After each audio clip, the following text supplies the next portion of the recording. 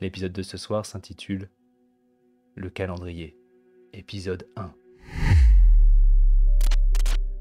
Je viens de recevoir un calendrier par la poste. Ça doit faire 15 ans que je n'ai pas reçu ça. Un calendrier de l'Avent, une tradition que j'adorais quand j'étais petite. Une petite surprise chaque jour pour te récompenser de ta patience. La patience d'attendre un cadeau peut-être. Avant, je n'avais aucune patience.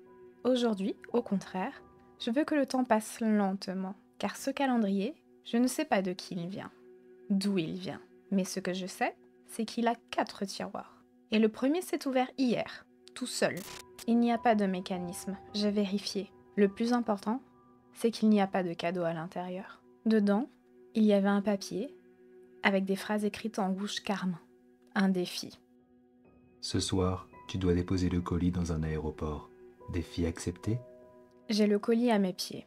Il est arrivé ce matin, devant ma porte, sans personne pour le livrer. Rien n'est écrit, mais sur le dessus est accroché un téléphone le genre que l'on voit dans les séries policières, le genre qui fait exploser des bombes. Clairement, ce défi est une mauvaise idée, et il n'y a pas moyen que je dépose ce colis dans un aéroport ou nulle part ailleurs. Je dois appeler la police et me débarrasser de ça. Je prends mon téléphone et décide d'appeler. Alors que je compose le numéro, une sonnerie retentit dans le hall d'entrée. Ça vient du colis. Pendant dix secondes, je me pétrifie dans l'attente de l'explosion. Une minute passe, toujours rien. Je décide d'avancer vers le colis qui sonne toujours. Je m'approche et vois que l'écran affiche. Décroche. Sans réfléchir, je le prends et réponds. Une voix me dit Si tu appelles la police, tu perds. Je réponds que je vais pas jouer à ce petit jeu avec lui ou elle et je raccroche. Je repose le téléphone et l'écran brille à nouveau. Au lieu du numéro entrant est écrit Perdu. Je ferme la porte et appelle la police. Celle-ci me dit qu'une équipe est envoyée et que je dois quitter mon appartement immédiatement et prévenir les voisins de tous sortir. Je me rends compte seulement à l'extérieur de la folie de ce qui vient de se passer. Surtout, pourquoi moi? J'essaye de réfléchir, mais mon téléphone sonne à nouveau. L'écran indique que c'est mon frère. Il est pilote de ligne et est censé être en vol en direction de Paris. Alors que je décroche, j'entends qu'il parle comme à travers un microphone et surtout qu'il y a beaucoup de bruit autour de lui. J'essaye de l'appeler, mais il ne semble pas m'entendre. Rapidement, je comprends qu'il est dans son cockpit et qu'il parle à son collègue. Il a dû m'appeler sans faire exprès, mais cela n'était jamais arrivé. Soudain, la conversation prend une tournure étrange quand mon frère semble crier de peur. Ferme cette porte tout de suite. Maintenant. Ah, je peux pas. Je peux pas. Hé mec, réveille-toi Me laisse pas tout seul Chier, fais chier Attends, il est où le truc qui nous regardait? Je le vois plus Allez, réveille-toi Réveille-toi, punaise J'essaye de lui dire que ce n'est pas drôle, mais la communication coupe après une série de craquements et de sifflements. Hébété, j'essaye de comprendre pourquoi il m'aurait fait une blague comme celle-ci. Je suis en train d'essayer de rappeler le numéro de mon frère quand la police sort de mon immeuble et semble vouloir m'embarquer. Y a pas de colis ici, madame. Vous nous faites perdre du temps et compromettez peut-être la vie d'autres citoyens. C'est un avertissement. Mais on vous demandera de venir au poste si cela se reproduit. Je dis au policier qu'il y avait bien un colis, mais il ne semble pas vouloir m'écouter. Je suis alors les résidents de mon immeuble pour aller vérifier mes dires. En effet, sur le palier, il n'y a plus rien. Pourtant, personne ne pouvait avoir pris le colis. J'avais fait en sorte de prévenir tout le monde et de m'en assurer. Les policiers étaient rentrés chez moi aussi. Et apparemment, rien d'inhabituel qui pourrait ressembler à une bombe n'y était.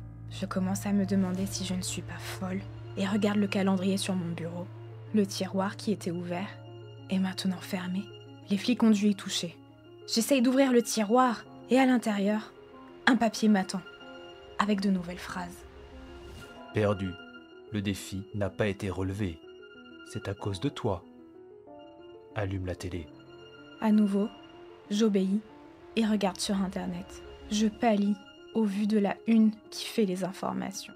Un avion vient de disparaître au-dessus de la Méditerranée. En provenance de Tunis, il devait se poser à Paris aujourd'hui. Aucun signal n'avait été capté depuis plusieurs heures. C'était le vol de mon frère. Impossible Je venais de l'avoir au téléphone. Le papier entre les mains, je remarque qu'il y a autre chose. Vous faire peur. Ça ne veut rien dire. Et je crois que tout ceci n'est pas une blague. Je ne veux pas être à la semaine prochaine. Mes yeux sont fatigués, mais surtout embrumés. J'ai l'impression d'être en dehors de mon corps depuis l'accident. Enfin, est-ce qu'on peut appeler ça un accident? J'ai essayé de comprendre ce qu'il s'est passé, mais à chaque fois que j'y pense, une migraine affreuse me prend. Elle me terrasse et il m'est impossible de savoir ce qu'il s'est passé durant la dernière heure. Mais cela n'est rien face à la culpabilité que j'éprouve. Mon frère, par ma faute, il n'est plus là. Cet avion s'est craché. À cause de moi. J'en suis convaincue. Il n'y a pas de doute. C'est cette boîte, ou plutôt ce calendrier. Cela fait bientôt une semaine que j'essaye de m'en débarrasser. Je l'ai jetée à la poubelle. Elle est revenue devant ma porte. Je l'ai mise à la déchetterie, à une heure de chez moi. Et elle est revenue. J'ai essayé de la détruire, à coups de marteau, la brûler, la jeter dans la rivière. Elle est revenue. J'en ai conclu deux choses. Je suis probablement folle, et la boîte ne me laisse pas le choix. Je vais devoir l'utiliser. Nous sommes maintenant mercredi soir. Le deuxième tiroir de la boîte vient de s'ouvrir. Ma main tremble sans que je puisse la contrôler. Je sais que je dois m'éloigner d'elle. Je prie pour qu'il soit vide. Mais non, il y a un papier, le même que la semaine dernière, épais et recouvert d'encre rouge. Une phrase est écrite. Je commence à tendre ma main quand mon téléphone sonne à côté de moi. C'est ma meilleure amie qui me demande de venir. Elle est toute seule chez elle et veut me montrer un jeu vidéo qu'elle vient de se dégoter. Je reste trop chez moi et ne vois personne. Ça ne me ferait pas de mal de sortir. Je lui réponds que j'arrive d'ici un quart d'heure. Je raccroche et lance un dernier regard au calendrier. Pas ce soir. Je ne peux peut-être pas me débarrasser de toi, mais tu ne me forceras à rien. Je prends mes clés, monte dans le métro et arrive comme estimé une bonne dizaine de minutes plus tard. Je connais le code de la porte par cœur et entre dans le lobby. J'envoie un message pour lui dire que je suis en train de monter. Évidemment, l'ascenseur ne fonctionne pas. Je vais devoir me taper les six étages. Je fais une pause, arrivé au dernier étage, et cherche mon téléphone dans ma poche. Mes doigts rencontrent un bout de papier. Je le sors et lis ce qu'il y a dessus. Ce soir, tu dois entrer par effraction dans la maison de ton ami. Tu sauras quoi faire. Comment ça a pu atterrir dans ma poche? Ce n'est pas possible Je suis sûre de ne pas l'avoir pris. La feuille tombe de mes mains quand je lève les yeux vers la porte d'entrée. Et impossible de détourner mon regard. Je me sens comme attirée. Au prix d'un effort surhumain, j'arrive à reculer un pas, puis deux. Je lâche malgré moi un râle quand je me tourne et commence à pousser ma jambe vers la marche inférieure. Mon corps est comme contrôlé par une force extérieure. Mais ma volonté de dégager d'ici semble plus forte, et j'avance pas à pas vers le lobby de l'immeuble. Je transpire comme si j'avais couru à toute allure en arrivant devant la sortie. Le papier est à nouveau là, accroché sur la porte extérieure. C'est un cauchemar. Je n'ai plus de force. Ma vision commence à se troubler. La porte s'approche de moi et ce qui est écrit devient visible alors que j'ai l'impression de tomber en arrière. Le monde extérieur s'assombrit de plus en plus. Juste avant de tomber dans les pommes, j'arrive à distinguer ce qui est écrit. Éteindre la multiprise.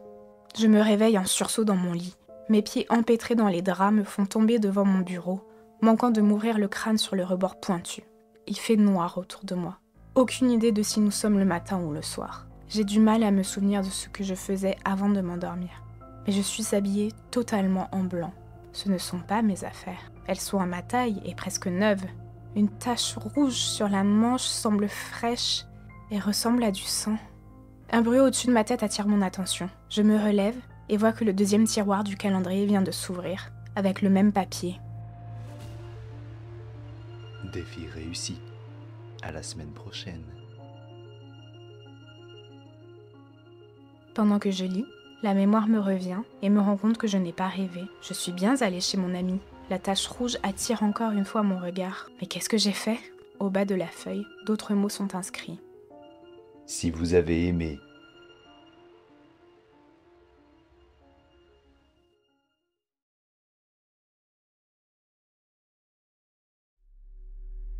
La police est venue me voir aujourd'hui. Cela fait deux personnes de mon entourage qui meurent en deux semaines.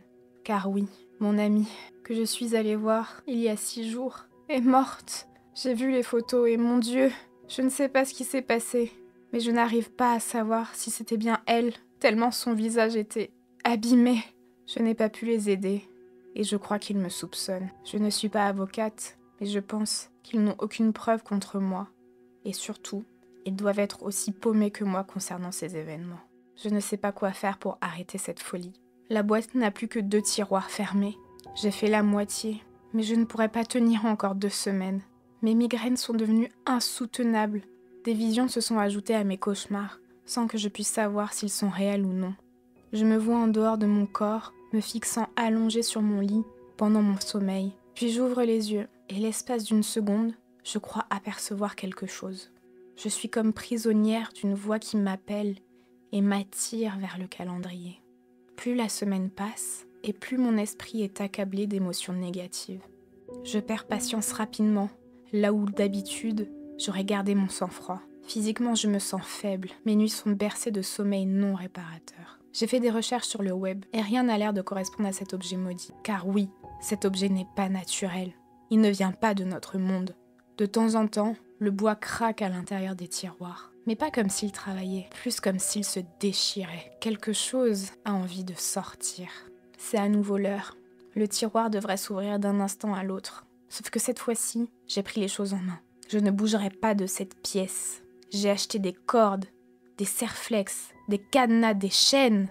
J'ai pris ma chaise la plus solide et fixé des attaches aux barres métalliques. Pour plus de précaution, j'ai même tourné le dos au bureau afin de ne pas être tenté à la vue du calendrier. J'ai réussi à me bâillonner avec un tissu et à m'attacher de sorte que rien ni personne ne me fera sortir de cette pièce, et surtout pas moi-même. L'heure approche. La pièce est sombre et uniquement éclairée par une petite lampe sur le bureau. Elle projette mon ombre sur le mur en face de moi. Les minutes passent et finalement, un bruit qui m'est devenu malheureusement familier. Le tiroir vient de s'ouvrir. Je gaine tous mes muscles, bloque ma respiration et me prépare à résister. Pendant que je fixe un point imaginaire sur le mur, un grattement provenant de la boîte se fait entendre, de plus en plus fort, de plus en plus proche. Mes yeux veulent se tourner et regarder, mais j'ai bloqué ma tête, de sorte qu'elle ne puisse pas tourner.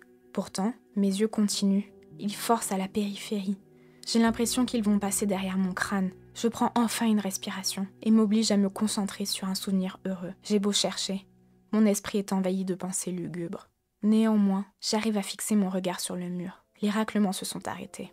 Et alors que je pensais avoir passé le pire, je vois qu'une ombre s'ajoute à la mienne, juste derrière moi. C'est un bras, avec une main aux doigts anormalement grands et cassés. L'ombre s'étire au-dessus de ma tête et cherche à attraper quelque chose. Je ne veux pas regarder. Je ne peux pas.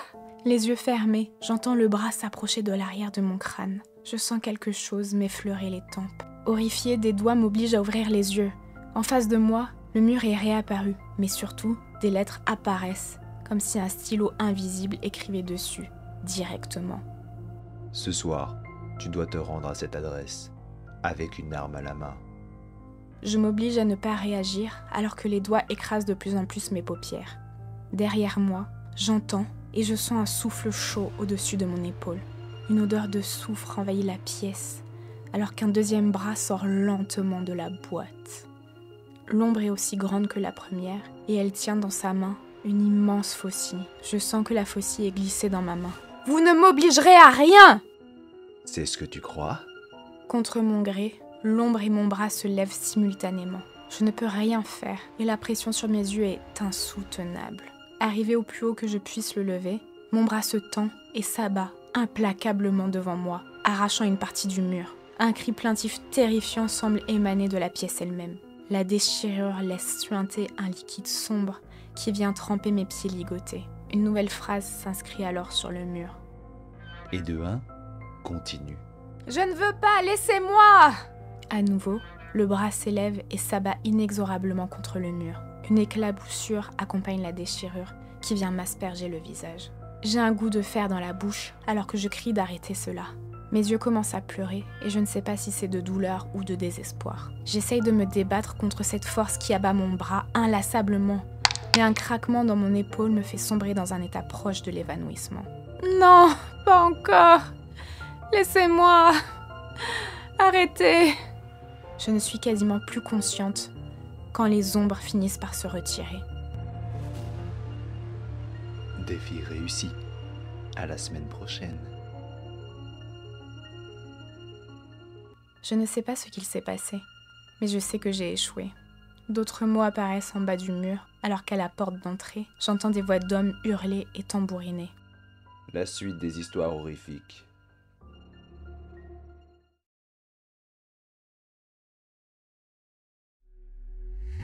Je suis en prison. La police m'a retrouvée au milieu de mon bureau, recouverte de sang du sol au plafond. De grandes griffures avaient déchiré le mur. Une faucille avait été retrouvée à mes pieds. Ce qui les avait intrigués, c'est qu'elle correspondait à l'arme utilisée lors d'une tuerie de masse qui avait eu lieu à des kilomètres de chez moi, au même moment. Les victimes étaient des jeunes, principalement regroupés pour une convention sur les bandes dessinées et comics. La nouvelle ne m'avait fait ni chaud ni froid. J'étais comme insensible. La seule chose qui me faisait me sentir vivante était la douleur de mon épaule luxée. Ce qui me faisait peur en revanche, c'était que je n'avais pas vu la boîte de la semaine.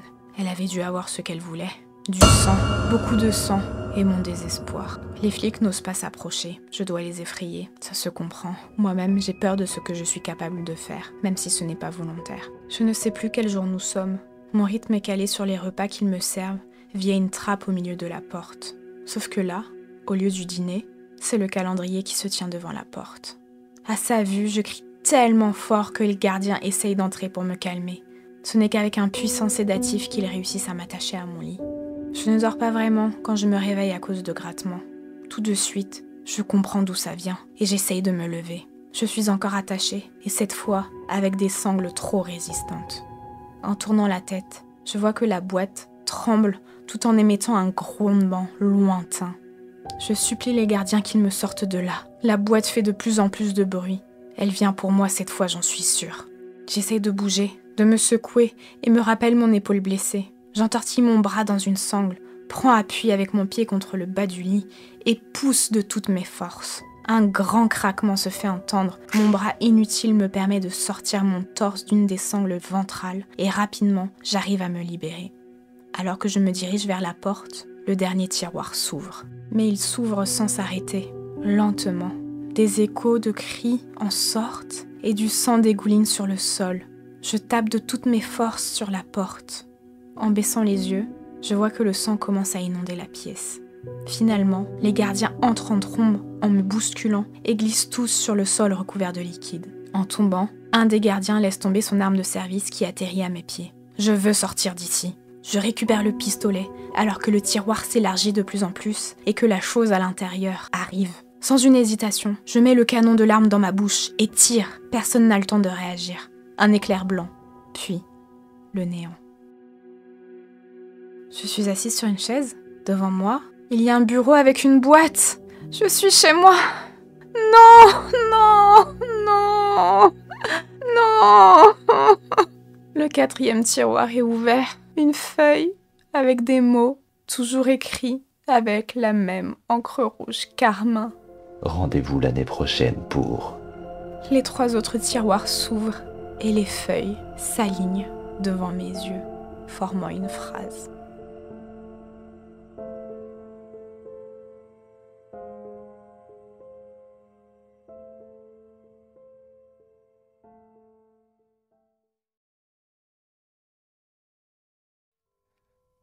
On avait loué un van pour le week-end. C'était la première fois qu'on tentait ce genre d'aventure. Choisir une direction au hasard et rouler jusqu'à ce qu'on trouve un endroit sympa pour passer la nuit. C'était original, mais pas inédit. En témoignent nos réseaux sociaux remplis de postes de baroudeurs motorisés posant devant des paysages sublimes. Pour le coup, la direction qu'on avait prise n'avait pas les attraits d'une carte postale mais dégageait une aura attirante et mystérieuse. Le parc régional du Morvan. Nous aimons bien sortir des sentiers battus avec ma femme. Au bout de quelques heures de route, nous franchissons les limites de la réserve naturelle et commençons à guetter un spot pour prendre l'apéro et éventuellement dormir. Problème, il fait déjà noir. On s'en est pas rendu compte tout de suite, mais l'obscurité était tombée rapidement Bizarre, car d'habitude en voiture, je fais toujours attention à ce qui m'entoure. Là, c'était notre chat, qu'on avait emmené en cachette, qui nous l'avait fait remarquer. Il a d'abord commencé à s'agiter dans son sac, alors qu'il avait été calme tout le trajet. Ma femme l'a sorti et mis sur ses genoux, alors que je réduisais l'allure de la camionnette pour ne pas louper un virage. Mais ensuite, il a commencé à gronder et à faire le dos rond. On n'a pas compris.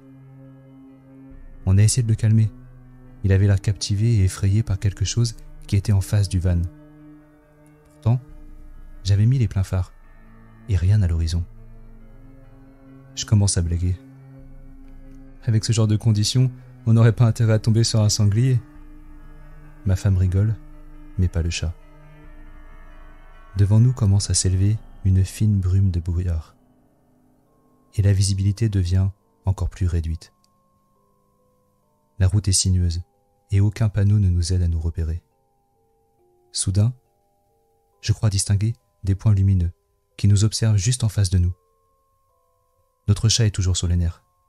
Je dis à ma femme de le calmer, mais je n'arrive pas à détacher mes yeux de ces points. Soudain, elle prend le volant et le tourne sur la droite pour éviter que l'on tombe dans le fossé.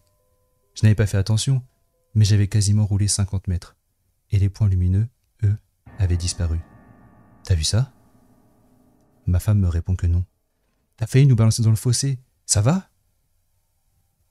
Elle propose qu'on s'arrête dès que l'on peut, et je suis d'accord avec elle. La fatigue se fait sentir. Et j'ai toujours cette image de ces points lumineux en tête. J'ai l'impression de ressentir un malaise avec cet endroit. Sur la carte du GPS, on repère un étang assez grand pour pouvoir se garer. Soulagement quand on voit une voiture garée sur une sorte d'emplacement de camping-car. Le moteur coupé, on hésite à sortir du cockpit. La nuit est noire d'encre, et on ne voit déjà plus l'autre voiture qui était pourtant à côté de nous. Bon allez, on se le fait cet apéro? Prenant notre courage à deux mains et notre unique lampe frontale, nous sortons pour re-rentrer rapidement par la porte latérale. Ce n'était que dix secondes à l'extérieur. Mais j'ai eu le temps de noter qu'aucun bruit n'avait l'air de sortir de la forêt. Qu'importe. Nous commençons notre repas frugal et commençons enfin à profiter de notre week-end à l'air frais. Rapidement, l'envie d'aller se soulager se fait sentir. Et pas le choix, il faut sortir du van. J'ouvre la porte et fais mon affaire derrière un arbre à deux mètres. Des bruits me font sursauter. J'essaye d'éclairer la zone d'où cela provient, mais ma lampe a comme du mal à chasser l'obscurité. Pourtant, elle était chargée à fond avant de partir. Je me dirige vers la porte et je commence à entendre de l'agitation à l'intérieur. J'ouvre et notre chat en profite pour sortir et se cacher dans un buisson tout en miaulant de terreur. On ne comprend pas ce qui lui arrive, et essayons de le calmer, mais rien à faire. Il est hors de lui et semble fixer un point précis, juste au-dessus du van. Je me tourne lentement, et le toit semble n'avoir rien de spécial. C'est là que je me rends compte que le ciel n'a pas de lune, ni d'étoiles. Je sais qu'on habite en ville avec la pollution lumineuse et tout, mais on n'est pas censé avoir un ciel dégagé ici. Je montre cela à ma femme, mais elle ne semble pas plus inquiète que ça. Le chat ne semble pas vouloir bouger, et nous ne sommes pas à l'aise à découvert. Tant pis, nous fermons la porte, il grattera s'il veut revenir. Allongé sur le matelas, moyennement confortable, j'ai du mal à trouver le sommeil. Je me retourne plusieurs fois, et finis par tomber dans un état second peu réparateur. Des bruits de grattement finissent par me réveiller au bout d'une heure, et j'ai du mal à comprendre que c'est le chat. Sale gosse, il a fini son cinéma? Je me révèle péniblement et sonde le van. L'intérieur est sombre et la température n'est pas très élevée. On est quand même en été Grattement. Je m'apprête à ouvrir la porte avant que le chat n'abîme la carrosserie, mais m'arrête la main sur la poignée. Derrière moi, entre les pieds de ma femme, endormie, une forme sombre semble se relever et me regarder avec des yeux brillants. Encore des grattements. Je frotte mes yeux, mais il y a bien quelque chose qui bouge. Punaise, c'est quoi ce truc? Je vais essayer d'attraper ma lampe, mais au moment de bouger, la forme s'anime aussi et s'approche de moi. Je me raidis. Les grattements sont de plus en plus forts. La forme est à 10 cm de moi, et elle finit par ronronner. Ronronner? C'est notre chat qui vient se bottir contre moi. Oh, le con, il m'a fait peur. Je commence à le caresser, mais me rends compte d'une chose. Il n'y a plus de grattement. Mais surtout, si le chat est là, qui grattait à la porte?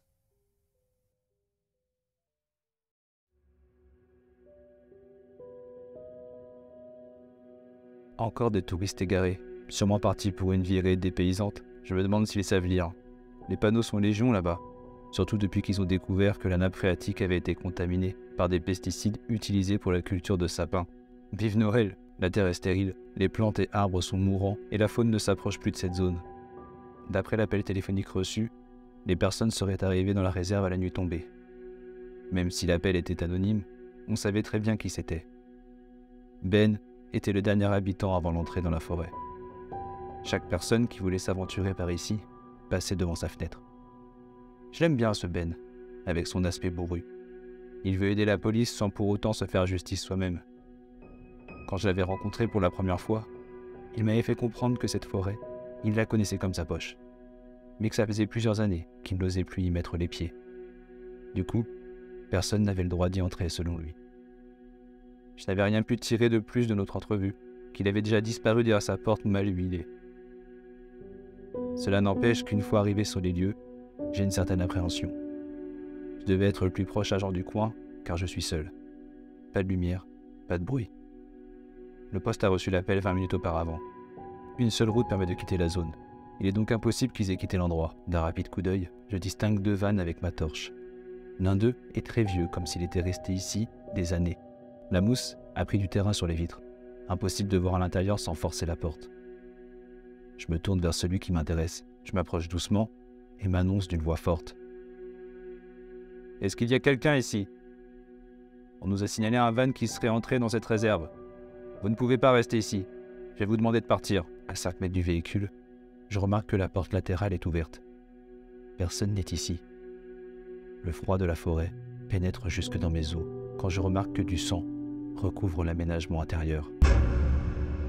C'est comme si on avait essayé de se débarrasser des preuves en inondant d'essence le lit pliant. Sauf que le liquide était rouge et une odeur âcre de fer flottait dans l'air. Je suis quasiment à l'intérieur, la tête penchée, quand je remarque du mouvement entre les draps. La main sur la hanche, prêt à dégainer, je braque ma lampe torche et des points lumineux me regardent. C'est un chat qui était allongé au milieu du sang. Je regarde s'étirer comme s'il sortait de la sieste et minauder vers moi. Qu'est-ce que tu fais ici, toi? Tu sais où sont tes maîtres? Aucun collier ne semble attaché à son cou.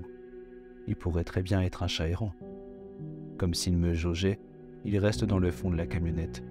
Sur le mur en face de moi, ma lumière éclaire des photos du couple à qui le van appartient. En dessous d'un Polaroid, j'apprends que le chat s'appelle Gribouille. Je me retrouve avec un véhicule et un chat abandonné.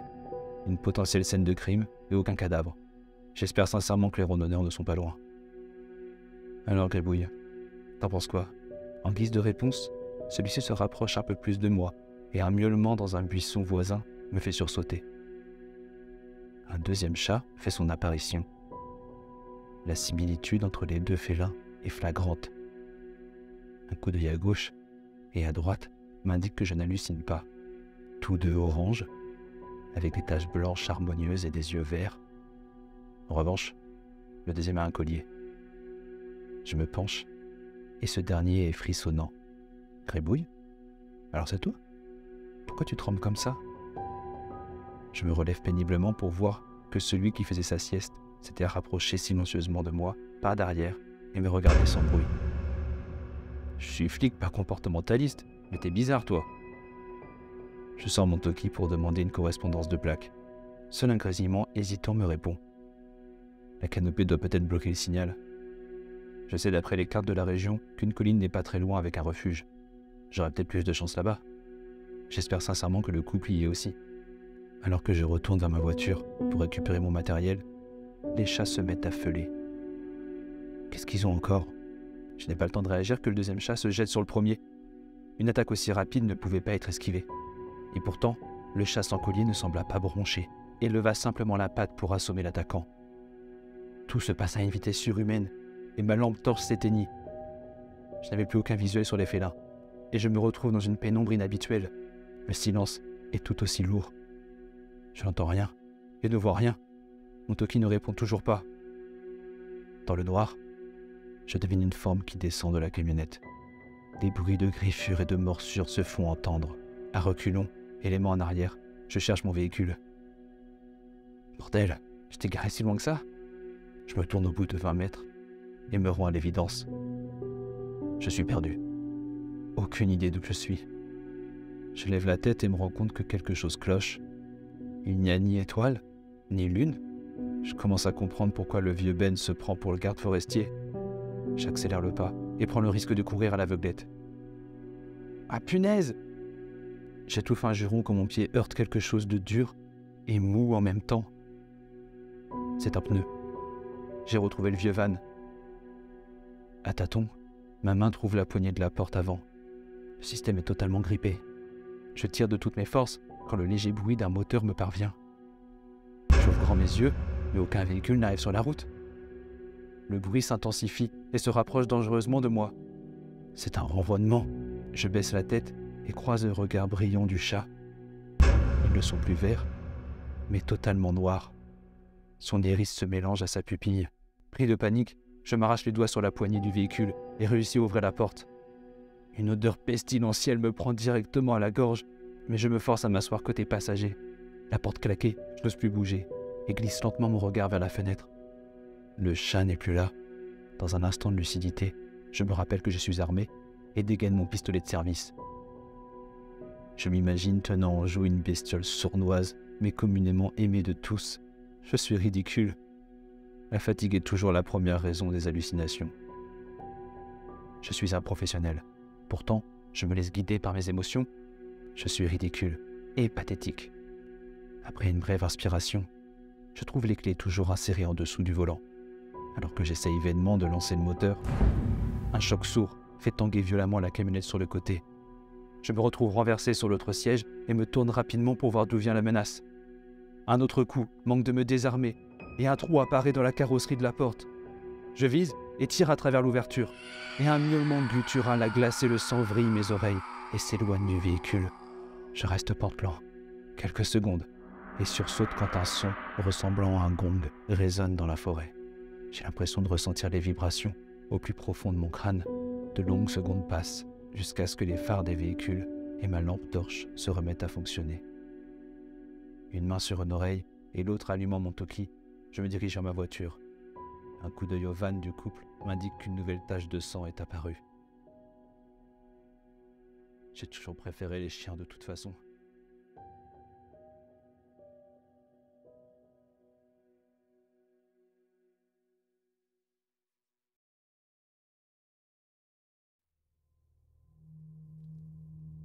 Je travaille en tant que technicien dans la sécurité civile aérienne, affecté à tout ce qui a attrait aux vols commerciaux.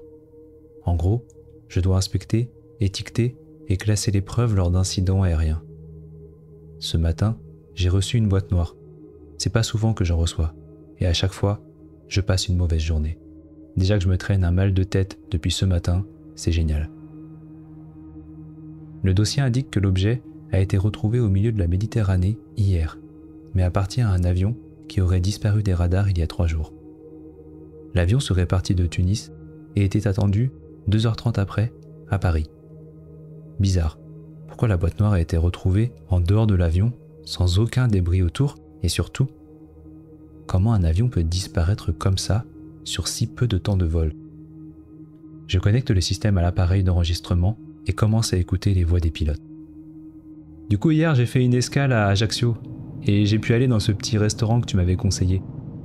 La bouffe était vraiment pas mal. Par contre, leur cosmopolitain m'a donné mal au crâne toute la soirée. Ce matin, c'était pas facile de se remettre en selle. T'as toujours eu du mal à supporter les alcools forts de toute façon. La prochaine fois, je viendrai avec toi et je te montrerai comment on boit ce genre de cocktail. Ouais, si tu le dis. Elle est passée où, Élise? Tu peux l'appeler? J'ai besoin d'un verre d'eau, ma migraine revient. T'es toujours en train de te plaindre. T'es sûr que t'es pas en train de décuver? Tu sais bien qu'on n'a pas le droit de piloter avec ne serait-ce qu'un nanogramme d'alcool dans le sang. Et puis de toute façon, le pilote automatique prendrait le relais. Et en dernier recours, il y a toi. C'est pas drôle. Tu sais bien qu'il me reste plus que quelques heures avant de pouvoir prendre le contrôle de cet avion et de te dégager de ce siège. Ta tête condescendante me tape de plus en plus sur les nerfs. Élise Élise, vous pouvez venir s'il vous plaît? Le micro doit encore faire des siennes. Tu vas la voir? Attends, je check un truc sur l'écran. T'as vu quelque chose? Une mouette? Arrête C'était une tâche assez grosse, mais y a plus rien. Je vais demander à la tour de contrôle s'ils ont vu quelque chose. On sait jamais. À cette heure, y a personne sur la route, t'inquiète pas. T'es en forme aujourd'hui, toi? Bizarre. La radio fonctionne pas non plus. C'est ça de voler avec des coucous low cost. Ils réduisent les check-in des appareils les moins importants et du coup on se retrouve en rade une fois sur deux. On va utiliser notre flair de pilote alors, à l'ancienne. Parle pour toi, vieux. Attends, t'as vu Quoi Devant nous, il y a une onde qui est passée. Non, rien du tout. Mais arrête tes conneries, tu commences à me taper sur le système avec tes visions. J'ai déjà assez mal au crâne comme ça. Je te jure, j'ai vu un truc passer derrière le nuage. C'est le principe de passer dans un nuage, c'est que tu vois pas grand chose. Oh punaise, je viens de le voir. Il y a quelque chose qui est passé à droite. Mais c'était quoi ce truc? C'était hyper rapide. J'arrive pas à contacter la tour. Et pourquoi l'équipage répond pas derrière? Ils font suer eux aussi. Ça va tranquille, on va gérer. C'est sûrement juste un piaf. Un gros bruit se fait entendre. Oh la vache C'était pas une turbulence ça Allume le symbole que personne ne se lève. Ça commence à me faire tourner un peu la tête cette douleur.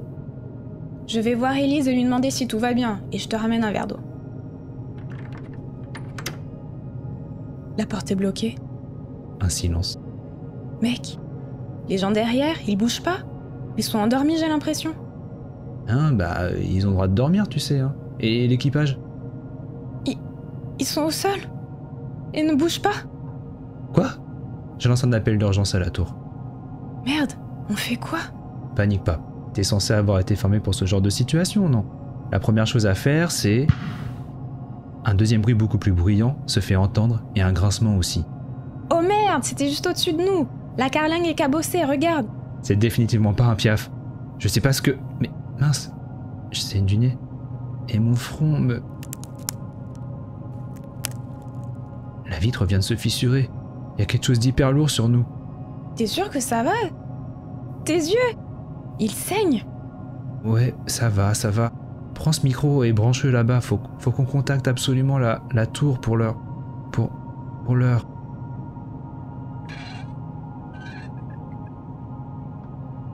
Ne bou- bouge pas. Et ne crie pas. Il y a une chose qui nous regarde. Où ça? Oh C'est quoi ce bordel? Je sais pas, mais elle me regarde droit dans les yeux.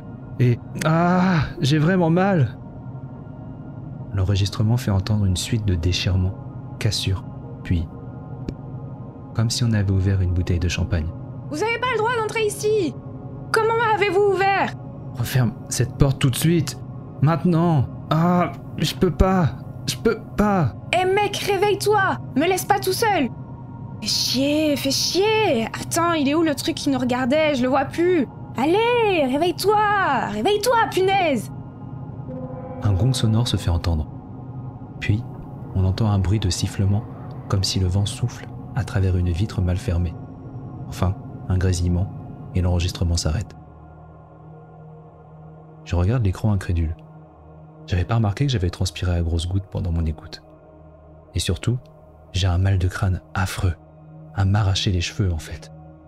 Je regarde la boîte noire et remarque pour la première fois qu'il y a une éraflure différente de celle qu'un accident d'avion pourrait laisser. Elle est comme si un, un animal avait donné un coup de griffe dedans. Un gros animal. Je regarde le dossier pour voir les détails du vol et je remarque une goutte de sang sur le papier. Elle vient de mes yeux. Ah, mais c'est quoi ça? Pourquoi je... Je fais le lien avec ce que je viens d'écouter? Ma tête. Ah, faut que j'appelle le service de gestion de crise vite. Ma vue se trouble. Le numéro. Ça sonne. Une voix. Allô? Service scientifique de la sécurité aérienne. J'ai besoin de prévenir tout de suite, monsieur. Le vol disparu numéro AF 435. Oui? J'ai du mal à vous entendre. AF435, vous dites? C'est étrange que vous appeliez maintenant. On vient juste d'avoir la nouvelle qui vient d'atterrir à Roissy. Les équipes de la sécurité civile sont en train d'entrer dans l'avion. Il semblerait qu'ils soient intacts. Monsieur? Vous êtes là? Je ne vous entends pas très bien. Il ne faut pas ouvrir l'avion, je répète. Ne l'ouvrez pas. Ne l'ouvrez. Un bruit de gong. Plus de tonalité.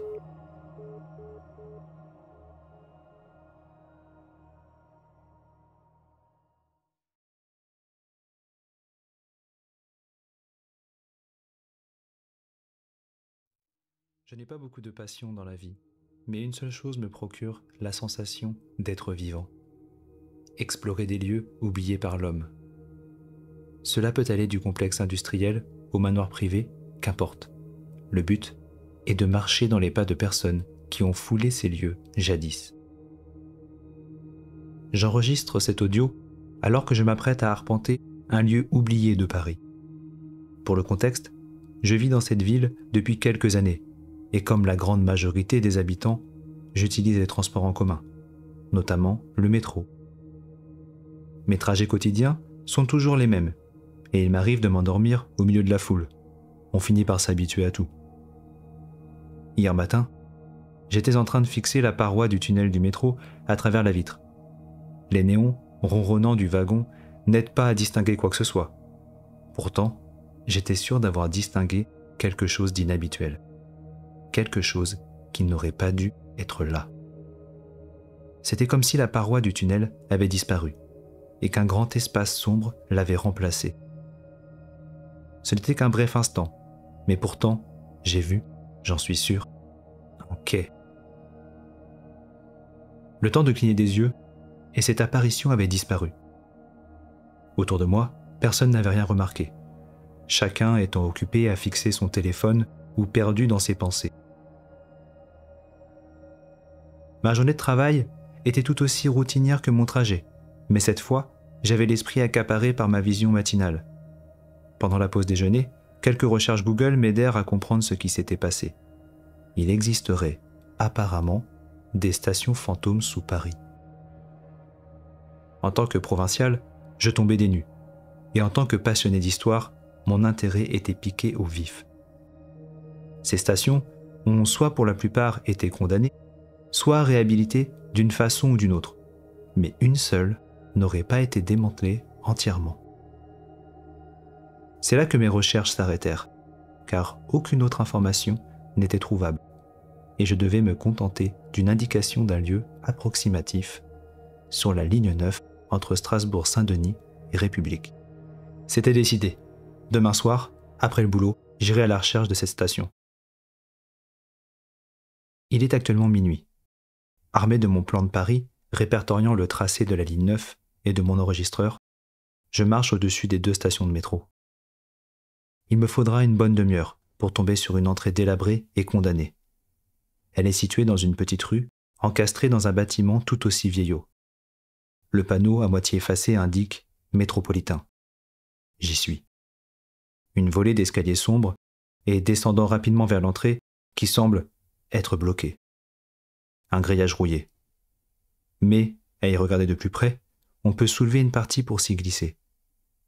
J'allume ma petite lampe frontale et m'enfonce dans le tunnel. Tout est éteint. Il n'y a visiblement pas d'électricité ici mais un nombre impressionnant de tags sur les murs atteste que des personnes sont déjà venues. Je n'ai pas peur du noir. Faire ces excursions seul non plus. J'ai développé une sorte de sixième sens à force d'entrer dans des endroits interdits. Bizarrement, à peine j'avais franchi l'entrée du métro que j'avais ressenti un léger frisson le long de mon dos. Une ambiance pesante se faisait sentir, comme si la pression était plus forte ici. Je mets ça sur le dos de l'adrénaline et continue le chemin. J'essaie de me détendre en observant les alentours. Les murs sont couverts de publicités en céramique d'époque pour des produits en conserve et des cigarettes. Je me rappelle avoir lu que la station avait été fermée pendant la Seconde Guerre mondiale. Une réouverture aurait eu lieu dans les années 50, mais aurait vite fait long feu, car au bout d'un an, lors de la rénovation, sa fermeture était de nouveau annoncée. Les médias n'en avaient pas beaucoup parlé à l'époque. Alors que je divague, le tunnel semble s'élargir et le noir m'enveloppe totalement. Ma lampe frontale grésille. Je tapote dessus afin que la lumière revienne. Il n'y a aucun bruit depuis que je suis entré dans ces lieux. J'avance et l'écho de mes pas se perd dans le lointain. Se pourrait-il que... Soudain un fracas de la lumière, mes yeux sont éblouis et je titube. L'endroit est éclairé comme en plein jour l'espace de quelques secondes. Ça y est, je suis sur le quai. Deux pas de plus, et je tombais sur les rails, coupé en deux par le métro filant à vive allure.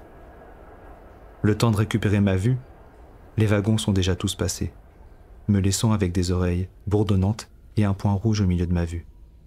Gauche, droite, je suis au milieu du quai. Une inspection rapide m'indique que la partie gauche est un cul-de-sac. La partie droite, elle, s'enfonce dans le noir. Mes pieds tâtent le sol qui semble solide et je décide d'avancer. Mes oreilles me font toujours un mal de chien. J'ai du mal à garder mon équilibre.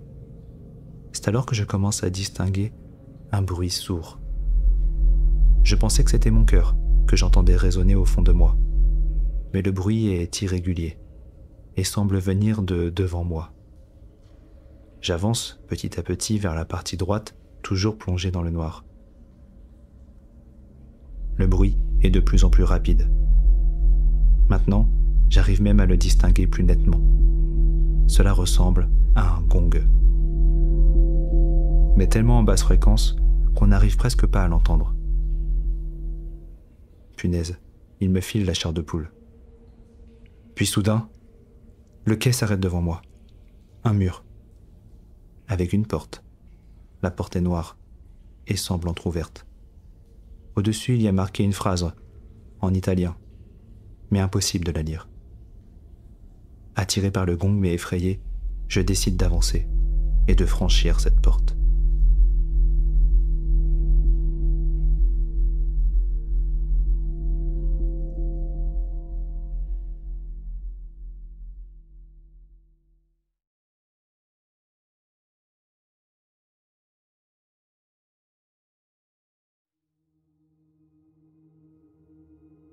En franchissant cette porte, je m'assure de la bloquer avec une dalle en céramique, trouvée sur le quai. Ce serait bête qu'elle se referme. Surtout que je n'ai prévu personne de mon expédition nocturne. Derrière cette porte, la noirceur m'englobe encore plus. La puissance de ma lampe semble diminuer encore. J'ai l'impression d'être dans une mine. Le sol est pentu et semble descendre très vite. Le gong. Il est puissant. Je le sens dans mes tripes. Il me saisit de son aura terrifiante. Il n'y a pas de doute. Le gong vient du fond de ce tunnel. L'envie de faire demi-tour est là, mais ma curiosité est plus forte. Je commence à avoir soif. Plus je descends, plus la température monte. Le décor n'est plus le même. On y voit encore des traces humaines qui datent de l'époque où ce tunnel a été creusé. Mais il n'y a plus aucune trace de tag ou de présence récente. C'est comme si le lieu était resté bloqué dans les années 30. Plus je m'enfonce, et plus le chemin est dangereux. Plus je m'enfonce, et plus le gong semble se rapprocher de moi. Des crevasses apparaissent à certains endroits. Le doute commence à s'installer, quand ma lampe n'émet plus qu'un faible rayon lumineux. La raison voudrait que je revienne sur mes pas, mais je suis si proche du bout, je le sais. Le gong résonne très fort. Chaque secousse fait vibrer les murs. J'ai peur que la structure du tunnel s'effondre. Il n'y a même pas d'été. Et puis, devant moi, apparaît un cul-de-sac. En fait, c'est plutôt un amas de débris qui bloque le tunnel. Des planches, des pierres, une brouette même. Comme si on avait rebouché à la va-vite avec ce qu'on avait sous la main. Je ne comprends pas pourquoi le tunnel s'arrête de la sorte. Il y a eu un éboulement Une fuite de gaz Un accident plus grave encore? Ce n'est pas logique. Si cela avait été le cas, l'entrée aurait été scellée et même la porte aurait été bloquée. Je m'approche des débris. Je sens un courant d'air chaud venant d'un trou pas plus grand qu'une pomme de main. J'approche mon œil, mais ne vois rien. Je prends appui sur une planche qui devait être une chaise un jour. Me rapproche un peu. La planche cède sous mon poids. Le bruit résonne dans tout le tunnel. Je m'arrête de bouger. L'écho dure longtemps, très longtemps. La profondeur du trou derrière me terrifie. Mon cœur a un. C'était quoi ça? Rien que je n'avais déjà entendu dans ma vie. Le bruit venait du fond du trou, je recule des débris et décide qu'il serait temps que je rentre. Je commence à manquer de tout. Alors que je rebrousse chemin, je me rends compte que le gong a disparu. Sans m'en rendre compte, je commence à courir. Je ne sais pas pourquoi, mais mes jambes me disent de fuir. Sur le chemin du retour, le tunnel est plus étroit. J'ai du mal à me tenir debout. Le plafond est plus bas. Les murs semblent se rapprocher. Je suis presque arrivé, je le sais. Mon sixième sens me dit de ne pas me retourner. Je cours tant bien que mal, la tête tellement baissée que je manque de peu de me rompre le cou contre la porte. Enfin j'y suis. Je cherche à tâtons la poignée. Il n'y en a pas. Et surtout celle-ci est fermée. La dalle en céramique s'est cassée. Je suis désemparé, plein de sueur, et ma respiration est incontrôlable. Je me tourne et j'entends comme un tapotement. Je tends l'oreille. Au bout de quelques secondes, je réalise que ce ne sont pas des tapotements, mais des bruits de pas. Qui courent Je ne sais pas quoi faire. Je ne veux pas crier. Il n'y a pas d'échappatoire. Je vais mourir ici. Je ne veux pas. Je me tourne, m'apprête à fermer les yeux, mais un éclat attire mon regard. Au-dessus de la porte, une inscription est totalement visible, comme si elle irradiait d'une lumière rouge. Lasciate ogni speranza, voi qu'entrate. Mon esprit est au bord de la rupture. Mais mes cours d'italien me reviennent en tête. Laissez toute espérance, vous qui entrez.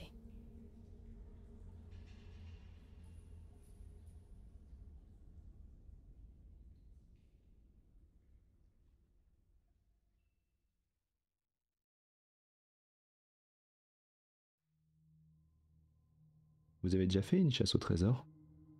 Sûrement quand vous étiez petit. Mais est-ce que vous en avez déjà fait une, une fois adulte? Celles qui vous sont proposées par des agences de voyage et offices touristiques. On a eu envie d'en tester une aujourd'hui.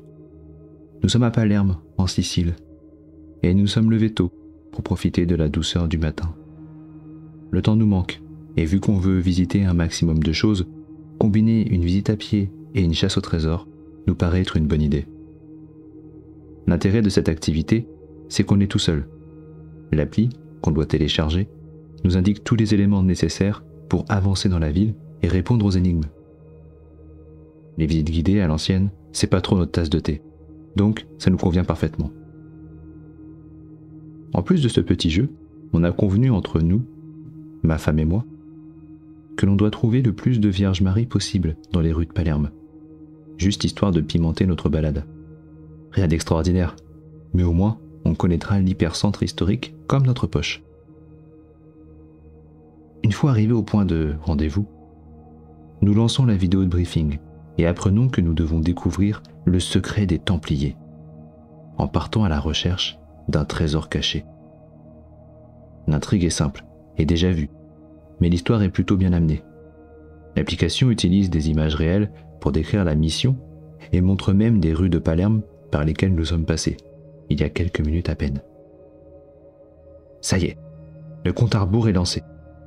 Et nous nous précipitons au deuxième point de rendez-vous. Il fait chaud, mais l'ombre des bâtiments aux façades décrépies fait du bien. L'application en main nous indique très précisément quand nous devons nous arrêter et nous envoie des indications pour l'avancement de l'enquête. Ça dit que nous sommes là où ils ont vu pour la dernière fois un certain artiste Stefano Boleno.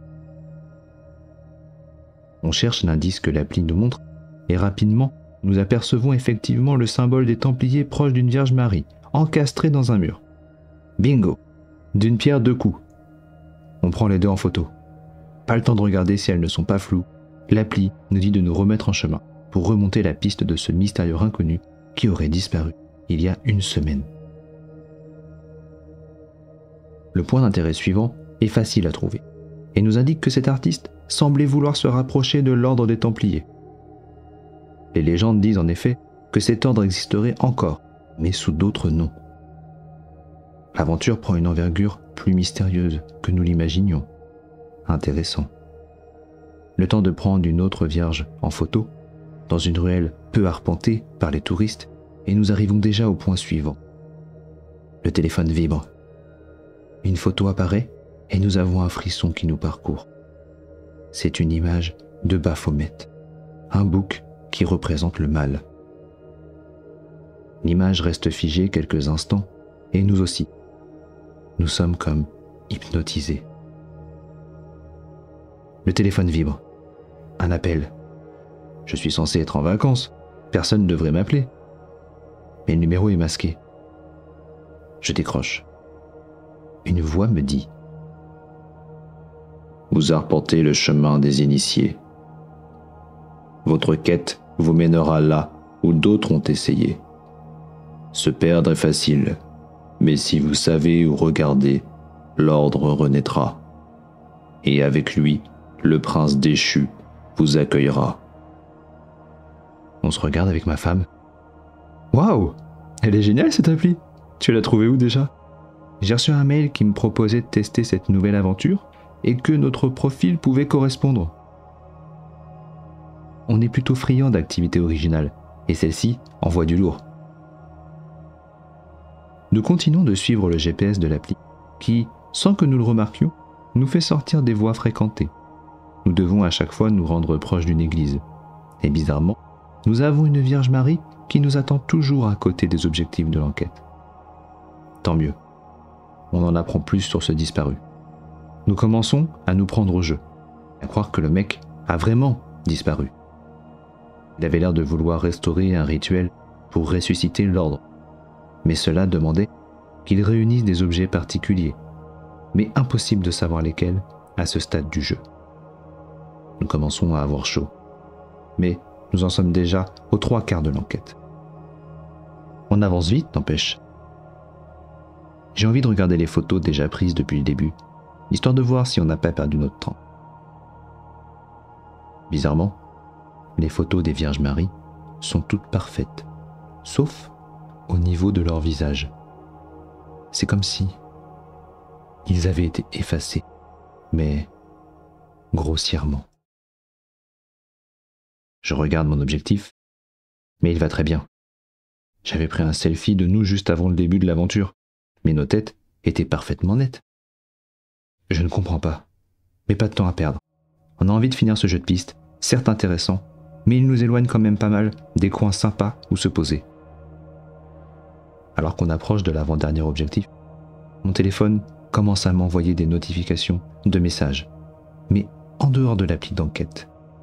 Bizarrement, c'est encore un numéro inconnu. Le début du message dit que nous sommes bientôt à la fin de l'enquête et que nous devrions bientôt retrouver Stefano Boleno. Je n'avais pas donné mon numéro à l'appli, je m'inquiète un peu, car j'ai pas envie de recevoir des spams toutes les 10 minutes. C'est là que je vois qu'il y a une pièce jointe avec le message. Je télécharge le MMS, et c'est une photo d'une rue que nous venons juste de passer. La rue est vide, sauf deux personnes sont au milieu, en train d'avancer de dos. Elles sont à une certaine de mètres, mais impossible de savoir qui sont-elles. On se demande si c'est un indice, mais rien ne nous vient en tête.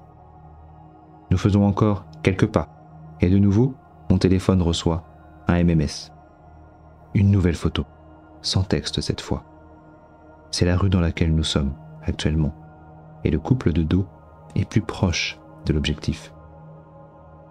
Nous nous arrêtons de respirer car, indéniablement sur la photo, c'est nous que l'on voit. Et c'est bien les tenues que nous portons. D'un coup, nous nous retournons, mais... Rien. La panique se fait sentir un peu. Quelqu'un s'amuse à nous faire peur, et c'est pas cool. Vous feriez mieux de sortir de votre cachette avant que ça tourne mal, dis-je avec mon doigt levé. Ma femme et moi sommes un peu pâles sur le moment, et nous n'avons plus du tout envie de jouer. Commençons à marcher en reculant pour essayer de trouver un abri ou appeler la police. Alors que nous sommes derrière un amas de poubelles, j'essaie de taper le numéro de police locale. Là, une nouvelle vibration.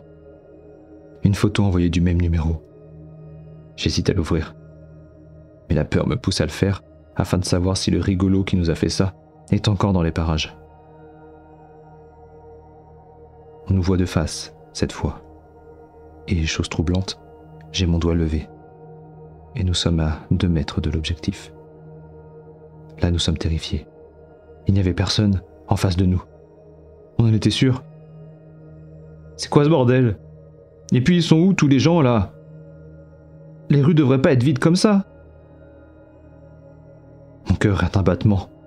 Nos visages. Nous n'en avons pas.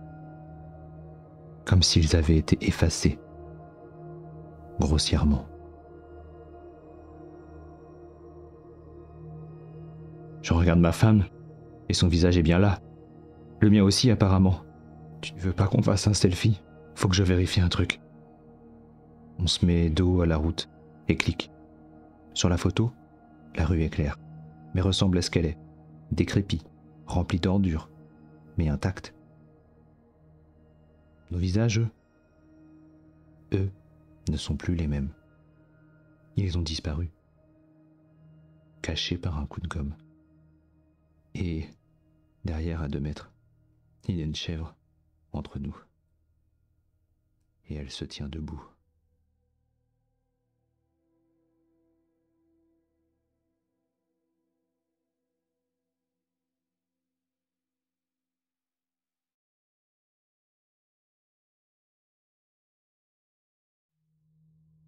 J'ai grandi jusqu'à mes 11 ans sur une île. Perdue dans l'océan Indien, c'est une île inaccessible en long courrier. Vous devez faire au moins trois escales et changements d'avion pour l'atteindre. La piste d'atterrissage est tellement petite que seuls des avions avec une dizaine de places peuvent atterrir. Je l'ai toujours appelée l'île et c'est vrai que je ne connais même pas son vrai nom. Qu'importe. Si je vous raconte cette histoire, c'est que sur cette île, tout était normal, les gens travaillaient, j'avais des amis et l'école était supportable comme partout. Mais, du plus loin que je m'en souvienne, on m'avait toujours interdit de rentrer après minuit quand je me baladais avec mes amis. De toute façon, j'étais trop jeune pour sortir tard. N'empêche qu'un soir, j'étais à l'anniversaire d'un ami qui devait fêter ses 10 ans, je pense. On avait eu droit à des gâteaux à base de patates, bananes et j'en passe, qui me font encore tellement envie maintenant que j'y pense. On avait poussé la fête jusqu'à tard. Il devait être pas loin de 22 heures. Le soleil se couchait tôt là-bas, donc il faisait déjà nuit. Mais deux heures devant moi, j'avais le temps de rentrer. Je pouvais encore profiter. On a bien ri, et finalement, je me suis retrouvée être la dernière avec mon ami. Il m'a dit que je devais rentrer car ma mère s'inquiéterait. On n'avait pas de téléphone fixe à l'époque. Et encore moins de smartphone. Je lui ai dit qu'il avait raison et qu'on se verrait demain pour essayer son nouveau skateboard. J'ai pris la route et l'air était encore chaud. Pas vraiment de bruit, ni de monde à cette heure-ci. La maison de mon ami est située proche des hauteurs et la mienne est encore plus haute. En fait, elle est à quelques centaines de mètres à vol d'oiseau du point culminant de l'île.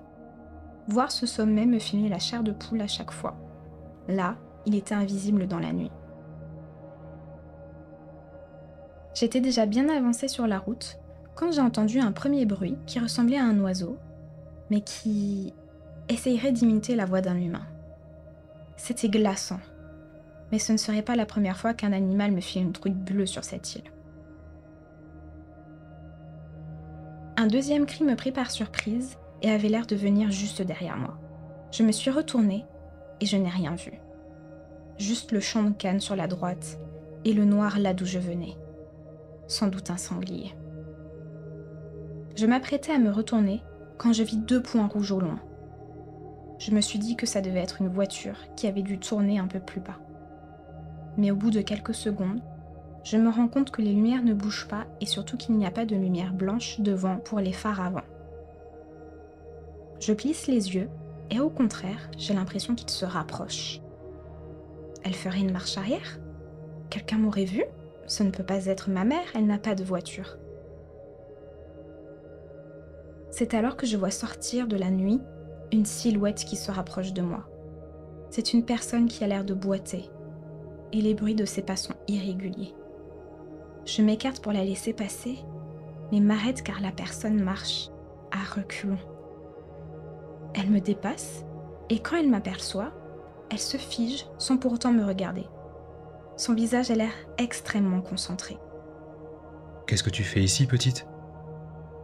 Je rentre chez moi, monsieur. Ta mère ne t'a jamais dit de rentrer avant minuit? Si. Mais il est 23 heures. C'est le changement d'heure aujourd'hui. Minuit est déjà passé depuis une dizaine de minutes. Tu ne devrais pas être ici. Vraiment pas. Mais je ne savais pas. Je vais vite rentrer chez moi. Comment est-ce que tu marches depuis que tu es dehors? Euh, je ne comprends pas. Comment est-ce que tu marches? À l'endroit ou à l'envers? C'est bizarre votre question, monsieur. Réponds à l'endroit, j'imagine. Est-ce que tu le vois? L'homme a finalement tourné ses yeux vers moi, lentement. Et tout de suite, il s'est repris et a regardé dans le noir sur ma droite. J'ai vu alors que les phares que je regardais n'étaient pas des lumières. C'étaient des yeux, rouges, avec d'immenses pupilles. Et il s'était rapproché de nous, de quelques mètres. Ils sont là, hein Bon. Tu vas courir chez toi, le plus vite possible. Et quand tu seras à ta porte, tu rentreras de dos chez toi. Et tu iras dire à ta mère ce que tu as vu ce soir. Vous irez prier fort, jusqu'au matin. Et ensuite, tu t'en iras de cette île, le jour même, toi et ta mère. Et vous, monsieur? L'homme eut un rire nerveux.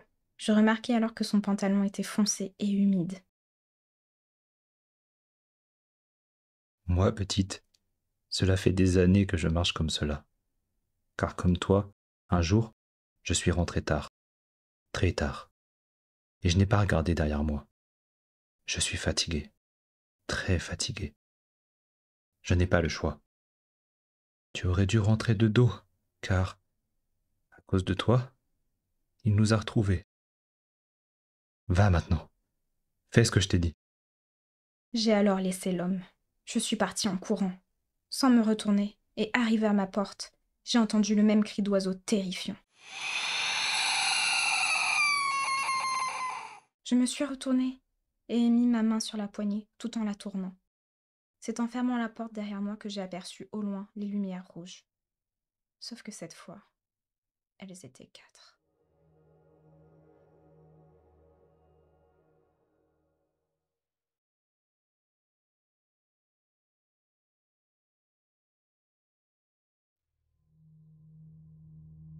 Cette voix. Entendez-vous cette voix? Celle qui fait que vous êtes allongé en ce moment. Êtes-vous dans un environnement que vous connaissez, qui vous rassure et vous effraie en même temps? Aimez-vous écouter des histoires d'horreur? Aimez-vous le frisson? Aimez-vous vous faire peur? Aimez-vous vous endormir en écoutant des récits aux frontières du réel? Vous essayez de vous rassurer en écoutant les événements fictifs qu'ont subis des personnes comme vous, mais qui n'ont jamais existé. Êtes-vous bien installé sous votre couette? Le chat à côté de vous est calme. Vous vous rassurez en touchant son pelage. Vérifiez que lui est bien réel. Vous avez éteint votre lumière pour vous mettre dans l'ambiance. Mis des écouteurs pour profiter des moindres bruits, glissements, craquements que vous entendez. Vous êtes même seul dans votre appartement. Vous avez fermé les portes et les fenêtres afin de vous couper de la réalité. Votre tasse de thé est déjà froide pour vous réchauffer et vos extrémités sont engourdies par les intonations du compteur. Votre respiration est lente, calme. Vous pensez vous endormir rapidement. Cette voix monotone est le seul somnifère qui fonctionne sur vous. Vous avez déjà essayé toutes les solutions médicales, physiques, psychiques et ésotériques pour vous reposer, mais rien n'y fait. Vous êtes toujours là, allongé, à écouter ce qui vous entoure. La réalité et la fiction finissent par se mélanger quand vous vous approchez de l'endormissement. Vous connaissez toutes les différences entre le sommeil léger, profond et paradoxal. C'est lui qui vous intéresse. Le monde des rêves. C'est un monde qui vous fait peur. Vous l'évitez ce monde. Il vous a déjà piégé. Vous étiez allongé, sur le dos, les yeux fixant le plafond, Et votre corps n'était pas là. Vous ne le maîtrisiez pas. Vous ne le maîtrisiez plus. Vos poumons étaient écrasés. L'air se glaçait et ne voulait plus sortir. Pourtant, vous étiez là, à écouter l'histoire. Cette histoire. Oui, cette histoire que vous écoutez est la même que vous écoutiez il y a... Vous ne savez plus combien de temps. Vous avez perdu toute notion de temps, d'espace, depuis que vous avez entendu cette voix. Ma voix. Vous essayez de vous rassurer en cherchant son pelage, vérifier que vous n'êtes pas piégé. Le chat n'est plus à vos côtés. Votre couette est trempée de sueur. Vous essayez de vous rassurer en vous rappelant le nom de ces malheureuses personnes qui étaient autrefois votre famille. Vous aimeriez ne plus entendre ces récits, différencier le réel du rêve. Vous avez des frissons. Vous ne voulez plus avoir peur. Vous aimeriez ne plus entendre cette histoire. Vous aimeriez ne plus être piégé. Vous aimeriez ne plus entendre cette voix. Ma voix. Ma voix qui est juste à côté de vous.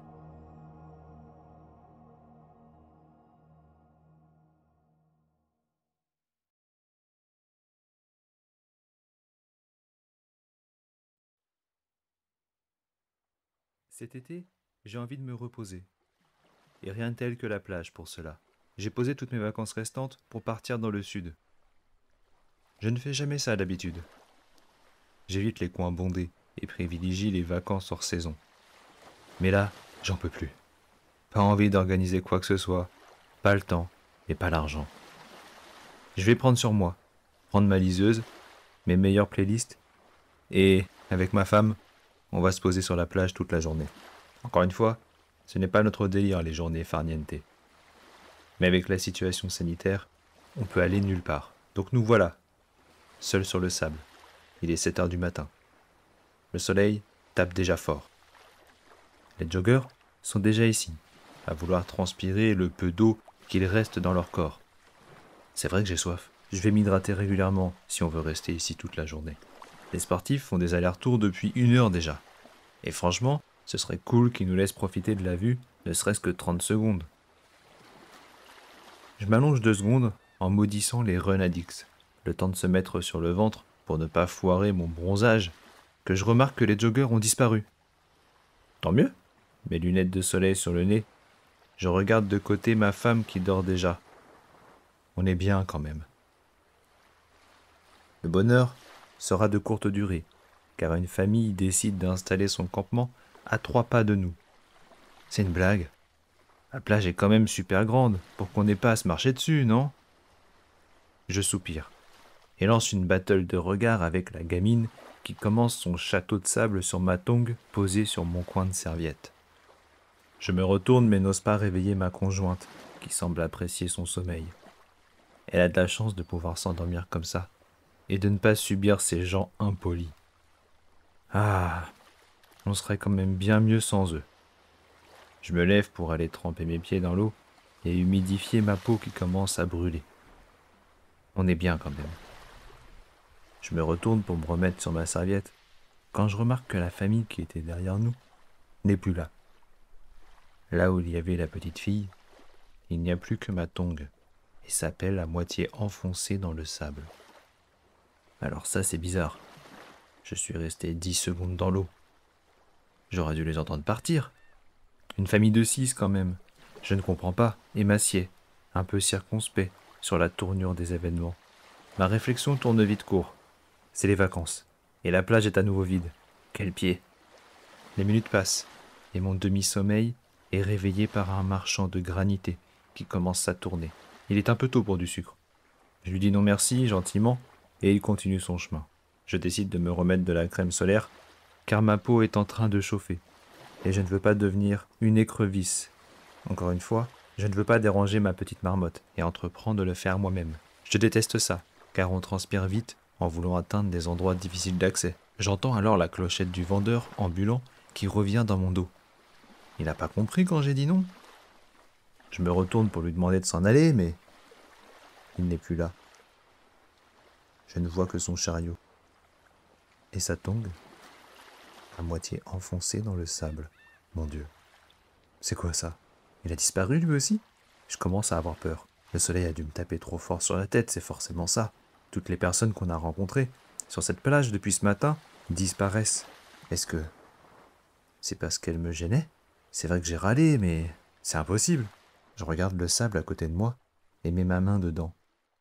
Il est chaud, mais il a l'air de bouger. Oh punaise Pas comme un sable mouvant, mais comme un battement. Ça vibre là-dedans. J'enlève ma main précipitamment et me cale sur ma serviette, ne laissant dépasser aucun centimètre carré de ma peau. Ma femme dort toujours. Bordel. Elle est très forte. Bizarrement, je ne me sens pas en danger. Au contraire, j'ai envie de tester une théorie. Au loin, une famille semble s'approcher de nous, à peu près dix mètres. À n'en pas douter, ils vont se mettre à côté de nous. Je transpire, pas de chaud, mais de ce que je m'apprête à faire. Je ferme les yeux et ancre fort l'idée que ces gens ne devraient pas se mettre aussi proches de nous. Vraiment pas. J'attends. J'ouvre les yeux. Ils ne sont plus là. Seule une tongue est restée, à moitié enfoncée dans le sable. Je cale mes lunettes sur mon nez, m'adosse confortablement contre mes affaires et commence à chercher ma prochaine cible. On est bien quand même.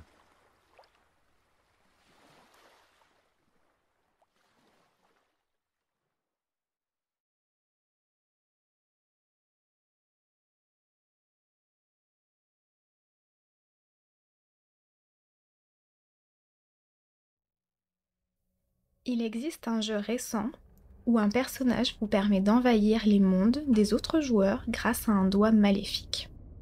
Une fois dans le monde de la personne envahie, le but est de tuer le personnage du joueur.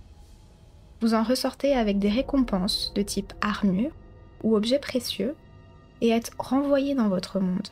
Mais ce que je peux vous dire, c'est que vous pouvez obtenir un autre objet qui vous permettra de cibler les personnes que vous souhaitez envahir.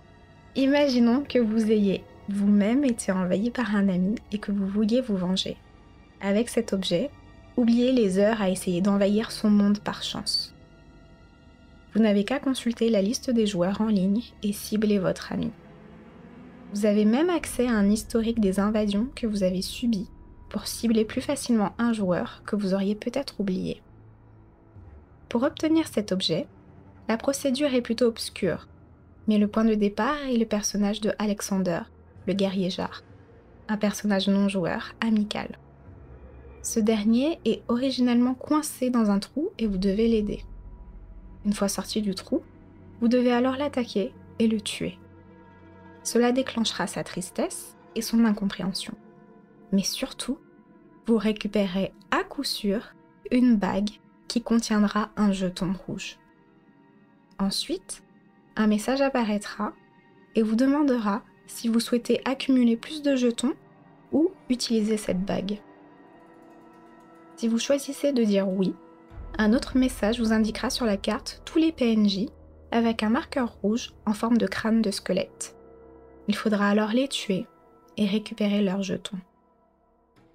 Si vous choisissez de dire non, un message vous invite à cibler un joueur à envahir en échange d'un jeton. Vous êtes ensuite invité à miser les runes que vous avez dans votre inventaire.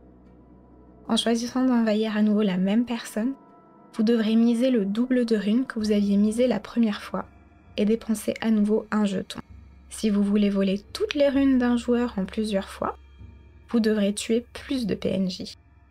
Mais si vous souhaitez lui voler l'entièreté de ses runes en un seul coup, vous devrez prendre le risque de miser toutes les vôtres et de les perdre en cas de défaite. Ce que je trouve bien avec cet easter egg, c'est que l'ambiance du jeu change sensiblement au fur et à mesure que vous avez tué les PNJ. Tout d'abord, ces derniers peuvent apparaître aléatoirement à côté de vous et rester un temps indéterminé à vous suivre, ne disant rien, puis repartant aussi étrangement qu'ils sont apparus. Ensuite, les joueurs que vous avez envahis peuvent aussi apparaître à côté de vous. Cependant, ils parlent. Et quand je dis qu'ils parlent, c'est qu'ils vous parlent comme si vous les aviez en face de vous. Et la plupart du temps, et c'est ça qui est drôle, c'est qu'ils vous supplient de leur rendre leur rune. Soi-disant, ils n'arrivent pas à quitter leur monde sans elle. Qu'une seule suffirait. Je pense que c'est parce qu'ils ont perdu toute leur rune pendant une de mes invasions. Ça me fait penser que depuis une semaine, j'ai toujours le même fantôme de joueur qui apparaît à côté de moi, et il ne disparaît jamais. Bref. Je vous avoue que je ne sais pas comment leur rendre, mais entre nous, j'en ai pas très envie. Ils n'avaient pas à m'envahir en premier. Je n'ai presque plus de runes de mon côté, et il me reste un jeton. Tous les PNJ ont disparu de mon monde. Maintenant que vous avez toutes les règles, il me semble que vous jouiez à ce jeu, et que votre pseudonyme est... Effectivement, je vous connais. Vous m'avez envahi tout à l'heure, et j'ai perdu quasiment l'intégralité de mes runes. Je ne peux pas être défait encore une fois. Je ne peux plus. Et maintenant, je viens vous les reprendre. Toutes.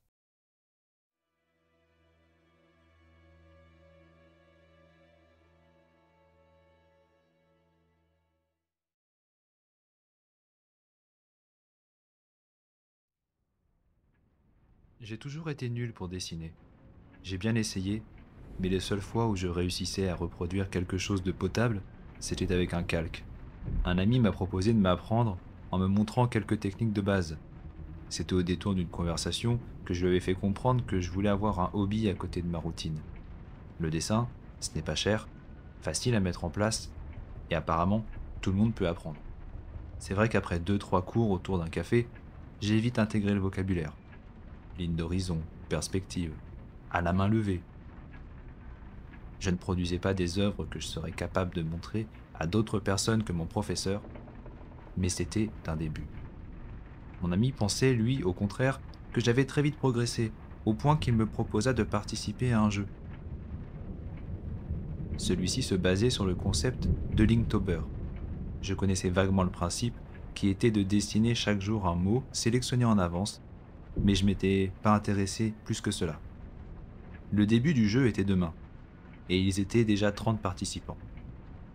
Je serais donc le 31e. Mon ami ne m'en a pas dit plus, et j'étais déjà en train de me demander si je n'allais pas me ridiculiser devant tous ces inconnus. Nous sommes maintenant le 30 septembre. Il est 23h. J'ai reçu une invitation sur un forum privé ce matin qui me donnait rendez-vous une heure avant le début du jeu. Une fois rejoint, des règles étaient écrites en blanc sur la seule et unique page totalement noire. Quand minuit sonne, vous devrez dessiner le mot du jour. Vous avez 23 heures pour soumettre votre dessin sur le forum. Pendant une heure, les votes auront lieu pour élire le meilleur dessin. Un vote par personne est autorisé. Vous ne pouvez voter pour vous-même. Quand minuit sonne, le mot du jour suivant apparaîtra. Le jeu s'arrête quand il ne reste plus qu'un joueur ou que le 31 octobre est atteint. Toute infraction à l'une de ces règles impliquera votre expulsion du jeu. Ok. On est donc sur une compétition de dessin où les critères d'évaluation seront subjectifs. Minuit. Mon alarme sonne. Le mot apparaît. Je m'étais préparé à l'avance et avais triché en regardant la liste officielle. Je savais déjà ce que j'allais dessiner et comment. Je fus donc surpris de voir que le mot affiché sur l'écran blanc n'était pas du tout celui auquel je m'attendais. Mon ami m'avait parlé de ce jeu un peu rapidement, sans trop forcer sur les détails. J'aurais peut-être dû lui en demander plus finalement. Je suis donc devant ma feuille, en manque d'inspiration, la main moite. J'arrête de rêvasser et commence à réfléchir à mon dessin. Pour une première, j'ai envie de taper fort, mais mon imagination me fait défaut. Je décide de m'y atteler directement et de laisser ma main suivre le cours de mes pensées. Ma main glisse sur le papier, librement et sans à-coups petit à petit, des formes prennent vie. Mon esprit visualise parfaitement les courbes que je veux faire prendre à mon crayon. Après une heure, je regarde le résultat. Cela me paraît bien. Mais est-ce que cela sera suffisant pour le classement? Mon poignet est fatigué, et demain je me lève tôt. Je télécharge le dessin sur le forum et m'écroule sur mon lit, lessivé. Au réveil, je vois les dessins des autres, la pression me tombe dessus en comprenant que les autres participants sont rapides et surtout qu'ils sont très bons. Chaque dessin a son interprétation, et la mienne me semble surfaite, simpliste, voire niaise. L'anonymat des postes me rassure un peu. La journée passe et je me vois déjà exclu du jeu après seulement un jour de participation. Nous sommes déjà à l'heure du vote, 23 heures. Je me connecte. Les phrases suivantes s'inscrivent. L'heure du vote a sonné. Vous avez une heure pour indiquer le dessin qui vous semble être le meilleur. Le choix me semble difficile. Je passe bien dix minutes à chercher l'heureux élu. En repensant à mon ami, je me rappelle la façon dont il a de dessiner, et une des images semble correspondre à son style. Je ne suis pas pour le favoritisme, mais personne ne le sera de toute façon. J'envoie mon vote et pars me faire à manger le temps que les résultats tombent. Une sonnerie de téléphone. C'est mon ami. Il me demande pour qui j'ai voté. J'essaie de lui décrire le dessin et comprends vite que c'est le sien. Il a l'air d'être soulagé. Plus qu'une minute. Je m'installe devant mon écran d'ordinateur en continuant de discuter au téléphone. Ça y est, les résultats sont affichés. Waouh J'ai réussi à récolter une quinzaine de votes. Je suis le premier dessin au classement. Tout de suite, mon ego est reboosté. Je cherche le dessin de mon ami et commence à descendre. Descendre. Il est dernier. Ex avec 14 autres dessins. Le leur n'a récolté aucun vote. Mince. J'ai du mal d'écrire son dessin tout à l'heure, il avait pourtant l'air sûr de lui. Je lui demande si ça va, car je ne l'entends plus. Ce dernier laisse passer un long silence ponctué de bruits de respiration bruyante, mais aussi paniqué. J'essaye de lui parler, mais il commence à crier de peur et semble ne pas être seul chez lui. Je lui dis que je le mets en attente le temps d'appeler la police. Mais au moment d'appuyer sur le numéro, plus aucun bruit. D'un coup, je n'entends plus mon ami. Juste une respiration lente, calme et très proche du téléphone. Je dis son prénom dans l'espoir de l'entendre, mais la communication se coupe brutalement. Déboussolé, je tente à nouveau d'appeler, mais le numéro n'est apparemment plus attribué. Je repose mon téléphone. Ma main tremble, alors que je n'ai aucune idée de ce qui vient de se passer. Une nouvelle notification. Je tourne les yeux. Mon écran d'ordinateur affiche que 14 utilisateurs ont été exclus du forum. À vie. Les votes sont clos. Veuillez vous préparer pour le mot suivant. Nouvelle règle. Vous avez maintenant moitié moins de temps que pour le mot précédent. Vous avez donc 11h30 pour soumettre votre dessin. À chaque nouveau mot, vous aurez 30 minutes en moins pour dessiner. Encore faudra-t-il que vous soyez en jeu. Ce n'est que le premier jour. Nous ne sommes déjà plus que 17. Et je ne suis pas sûr de voir novembre.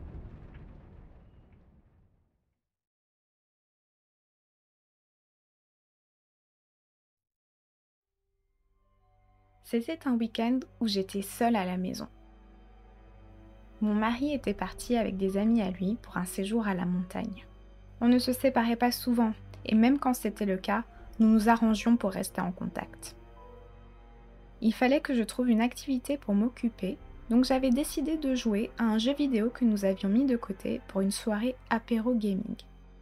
Le jeu en question avait l'air d'être une simulation de vie un peu décalée. Une aubaine pour animer un roleplay pendant le live. Car oui, je ne l'ai pas dit, mais nous aimions partager notre passion des jeux vidéo avec nos proches, mais aussi des inconnus. Le principe, vous jouez et des personnes vous regardent. Nous avions un avis très mitigé sur cette pratique il y a encore un an. Mais maintenant, nous nous étions pris au jeu et nous avions des rendez-vous hebdomadaires avec nos quelques spectateurs. Rien d'exceptionnel néanmoins. 18h, je lance le logiciel de streaming, allume la caméra et commence à jouer. J'envoie un message à Kepa pour lui dire qu'il peut passer si son emploi du temps n'est pas trop chargé. Le début du jeu est plutôt ennuyant. Nous incarnons en vue à la première personne une femme qui vit dans un appartement. Il fait jour, mais le soleil commence déjà sa redescente vers l'horizon. Nous devons effectuer des tâches quotidiennes que chacun rechignerait à faire dans la vraie vie. Le temps est imparti. Tout doit être fait avant le coucher du soleil. Sortir les poubelles, ranger la chambre, faire une lessive. Je ne suis pas vraiment fan de ce genre de gameplay, mais bizarrement, j'éprouve une certaine satisfaction à reproduire des tâches similaires à celles que j'avais faites il y a à peine une heure. Une notification retentit. Le chat s'est illuminé d'un émoticône. C'est mon mari qui dit bonjour. Hey Je vois que tu as fait une machine, c'est bien Je rigole et lui réponds que cela fait deux fois que je fais le linge aujourd'hui. C'est déjà deux fois de trop. Le temps suit son cours dans le monde virtuel et le chat s'anime des discussions des spectateurs. Un contraste saisissant avec l'appartement dans lequel je suis, qui lui est des plus silencieux. Je regarde ma montre et vois qu'il est déjà 22 heures. Que ce soit dans la vraie vie ou dans le jeu, le soleil est déjà couché depuis longtemps. Heureusement pour moi, je pense avoir effectué tous les objectifs qui m'étaient assignés. La vue du personnage devient noire et une écriture en blanc en plein milieu de l'écran apparaît. Maintenant, le jeu commence. Bizarrement, ça me fait froid dans le dos. Le chat est maintenant quasi vide, à part Kepa qui laisse de temps en temps un message pour s'assurer que je ne rate rien des objectifs à remplir. J'ai envie de faire une pause. Je me lève pour aller boire un verre d'eau et laisse le jeu tourner. Il fait froid dans l'appartement. Et les ombres ne me rassurent pas vraiment. Il faut dire que je suis un peu peureuse une fois toute seule dans le noir. De retour sur mon siège, je remarque que quelque chose a changé. Une notification. Le jeu a continué Tu faisais quoi? L'écran de jeu n'est plus noir. Nous sommes toujours en vue première personne, mais cette fois, nous sommes dans un couloir. Il fait sombre, mais on distingue ce qui nous entoure. Il semblerait que je sois dans un couloir extérieur avec des portes devant moi. Le sol semble être en plancher. Je bouge la souris et peux distinguer mon corps. Je vois mes avant-bras, mais surtout, je vois que mes vêtements sont blancs. T-shirt blanc, pantalon blanc, comme si je travaillais dans un hôpital ou un asile. L'ambiance a radicalement changé. Bon, euh, je crois que je vais finalement jouer un jeu d'horreur, hein dis-je avec une note d'inquiétude. J'avance mon personnage d'un pas vers la porte la plus proche de moi. Le plancher grince. Et j'ai comme un écho dans mon casque. Le chat ne semble rien avoir remarqué. Qu'importe. En m'approchant de la porte, on m'invite à appuyer sur une touche. Une note apparaît dans les mains du personnage. Elle est remplie de phrases alignées les unes sous les autres. Je les reconnais. Ce sont les objectifs dont j'ai dû m'occuper pendant la phase du jeu. Apparemment, il y avait 15 objectifs. J'ai réussi à en remplir 14. Mince J'en ai oublié un Il semblerait que j'avais oublié d'éteindre la multiprise dans la cuisine. Une notification. Tu l'as trouvé où ce jeu déjà? Une plateforme de jeu indépendant? Il était gratuit et les graphismes me paraissaient pas dégueux. C'est vrai qu'on peut trouver des pépites sur ce genre de forum. Mais là, je ne m'attendais pas à ce que ce jeu révolutionne le genre. On l'avait installé en début de semaine, et maintenant que j'y repense, il avait mis beaucoup de temps à s'installer. Il m'avait demandé de pouvoir se connecter à Internet, rien de spécial quand on sait que la plupart des jeux se jouent tous en ligne. Sauf que celui-ci se joue entièrement hors ligne. Euh, vous savez quoi? Ça m'a mis le doute, je vais aller checker. En effet, dans la cuisine, j'avais oublié de débrancher la prise. Quand je suis revenue, j'ai vu sur le retour de la caméra que j'avais pâli. Une notification encore. Alors T'avais oublié de la débrancher, hein? Je ne réponds même pas à la provocation, car autre chose a attiré mon attention, mais surtout m'a glacé le sang. Chacun des objectifs qui étaient dans la main du personnage était en fait très précis trop précis. Laver le linge s'était transformé en laver les affaires de karaté, alors que j'avais bien lavé des affaires de karaté cet après-midi. Sortir les poubelles était devenu jeter les épluchures dans le compost. J'avais bien passé 30 minutes à couper tous les légumes pour les mettre dans le composteur tout à l'heure. Ainsi de suite. Les objectifs du jeu étaient en fait les objectifs que je m'étais fixés dans la matinée. Plusieurs notifications. Il commence à me faire peur ce jeu. Tu ne veux pas arrêter? J'ignore encore une fois le message, car même si je ne sens plus mes extrémités, Ma main continue de faire bouger la souris. J'avance. Le plancher grince. Un écho. Ces plantes sur le côté, je les connais. Ma main tourne la poignée de la porte, la poignée Queen. Un autre écho. Je remonte le lobby de l'entrée. Les pas sont lourds. Alors que je m'approche de l'encadreur de la porte de la chambre, de ma chambre, je quitte l'écran des yeux et tourne la tête. Une ombre me regarde dans le noir. Elle est habillée tout de blanc. Elle avance sa main dans la lumière de la lampe du bureau. Elle se tourne et me montre la feuille avec des phrases. Tout en haut, une phrase n'est pas cochée. Et son doigt tapote dessus. Il est écrit Éteindre la multiprise. Je veux regarder le chat. Tourne la tête. Une dernière notification. Le jeu est terminé. La lumière s'éteint.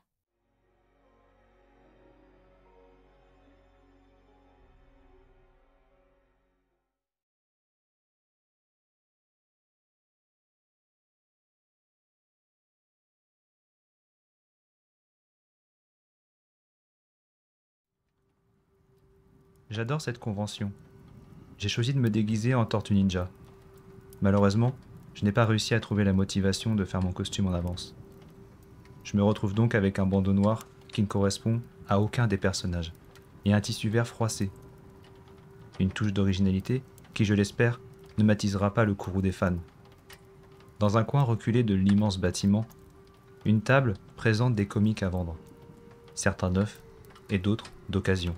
Le stand a un franc succès, et je choisis de me mettre à l'extrémité de la table, pour ne pas être dans la foule.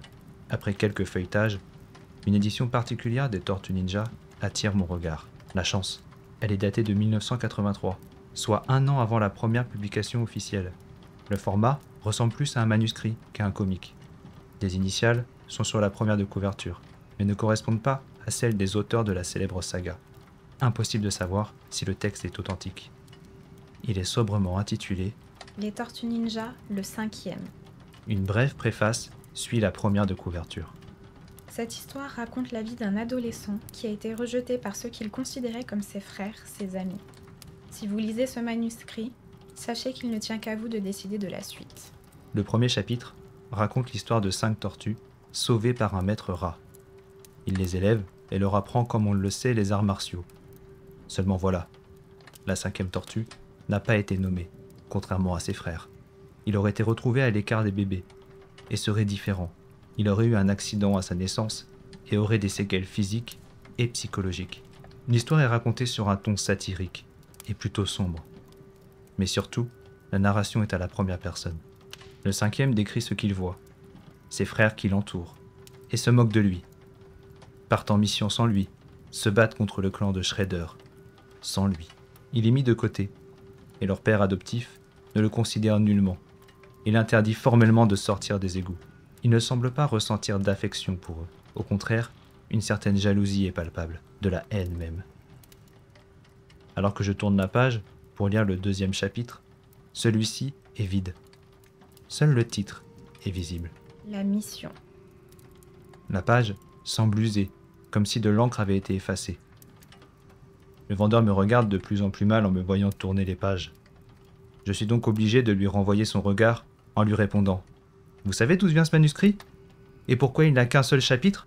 Le vendeur me répond que ce manuscrit n'est pas à vendre, car pas à lui. Il ne l'a jamais vu, et que je ferais mieux de dégager ce torchon de son stand. L'introduction de l'histoire m'a plu, et l'ambiance sombre me pousse à croire que ça pourrait se revendre assez cher auprès de collectionneurs. Il ne m'en faut pas plus, et décide de le prendre avec moi. Je continue donc ma déambulation entre les stands, me laissant porter par le flux de la foule. Je ne cherche rien en particulier, mais ma découverte du manuscrit a piqué ma curiosité. Et j'ai plus qu'une envie, découvrir qui a écrit cela. J'essaye vainement de le montrer à des exposants, mais aucun ne semble savoir de quoi je parle. Au détour d'un stand de masques d'animation japonaise, je sursaute, car mon double se tient devant moi. En réalité, il me faut quelques secondes pour comprendre qu'un autre fan de Tortue Ninja a décidé de s'habiller comme moi. Mais lui a une réplique parfaite, avec un bandeau orange. Je suis un peu jaloux. Il commence à me demander s'il peut prendre une photo de moi, tellement mon costume est original. Je me sens honteux et ridicule, et n'a pas encore dit quoi que ce soit que sa photo est déjà prise. Alors qu'il veut prendre un selfie de nous deux dans la foulée, il se retourne vers moi et son regard reste figé au-dessus de mon épaule. Il semble changer d'avis et s'excuse dans sa barbe avant de disparaître dans la foule. Je ne perçois que la fin de sa phrase. Ils sont tarés, ceux-là. Avant que je ne réagisse, il a déjà disparu au milieu des allées bondées. Je commence à avoir faim et décide de me poser dans un coin plus calme pour grignoter mon sandwich et regarder à nouveau le manuscrit. Je veux vérifier la quatrième de couverture, ou l'intérieur, dans l'espoir de trouver quelque chose qui m'aurait échappé la dernière fois. Très vite, je m'arrête au deuxième chapitre. Le titre est bien là, La mission. mais des phrases sont écrites en dessous. Je suis sûr qu'il n'y avait rien tout à l'heure. Je la lis à voix basse. Il est temps. C'est la première fois que je sors des égouts. Ils sont tous sortis jouer les héros. Je les ai suivis. L'endroit est bondé. Il y a du bruit et beaucoup de lumière. Je sais qu'ils sont là. Je n'ai juste qu'à attendre. Les phrases n'ont pas de sens. Je passe mon doigt sur la page pour révéler peut-être un subterfuge, mais l'encre semble réelle et encore fraîche. Mon doigt est taché de noir comme si on venait d'écrire à l'instant sur cette page. Alors que j'essaye de comprendre ce qu'il se passe, je sens un souffle chaud et puant juste au-dessus de mon épaule droite. Je me tourne vivement, mais il n'y a que le mur contre lequel je suis appuyé. J'ai besoin de me dégourdir les jambes. Je range mon livre dans mon sac quand j'entends un grattement de plumes. Des mots apparaissent à la suite du chapitre 2. C'est fait. Plus de retour en arrière. C'était satisfaisant. Je dois trouver les autres. Comment est-ce possible? C'est une blague, elle ne me plaît pas du tout. Je me décide à retrouver le stand du vendeur afin qu'il me dise la vérité. Je remonte les allées péniblement, évitant les adolescents bruyants et les parents dépassés. Je glisse sur un objet sur le sol. Je me penche pour voir ce que c'est et découvre un smartphone allumé. L'écran est fissuré, mais on voit encore ce qui est affiché. C'est une photo et l'on voit une personne qui porte un costume de tortue ninja. C'est moi. Le téléphone est celui du gars qui s'est moqué de moi. Il a dû le faire tomber, mais la fissure sur l'écran ne peut pas être causée par une simple chute. Je fais défiler les photos et mon cœur se fige. C'est un selfie maintenant, flou et mal cadré, mais on voit ma tête, celle du gars et une autre tête de tortue. Mais ce n'est pas un déguisement. Une silhouette est derrière moi, au-dessus de mon épaule droite, et me dépasse d'un bon mètre. Je n'arrive pas à distinguer son visage. Soudain le téléphone vibre. Un message apparaît. T'es passé où, bordel? Tu vas louper la dédicace. Ça prend pas 30 minutes d'aller aux chiottes. Je tourne la tête pour situer les toilettes et les repère à une cinquantaine de mètres sur la gauche. Arrivé essoufflé devant celle des hommes, j'ouvre et remarque une cabine fermée. Impossible de l'ouvrir. Je décide de toquer. Pas de réponse. Je demande à voix haute si quelqu'un est là et a perdu son téléphone. Idem. Que le silence. Sans faire de bruit, je décide de rentrer dans une autre cabine et de monter sur les toilettes. À peine ai-je le temps de passer la tête que je vois, gisant dans son sang, sur le siège d'à côté, la tortue ninja au bandeau orange, éventrée. Je lâche un cri aigu et glisse sur le rebord de la chasse d'eau. Blackout. J'entends des bruits. Ma vision est floue. Des voix qui s'élèvent. Une dispute. Puis des objets lourds qui semblent tomber. Enfin, le silence à nouveau. Quelques minutes passèrent avant que je revienne à moi. Hébété, je sors en titubant de ma cabine et manque de tomber à nouveau.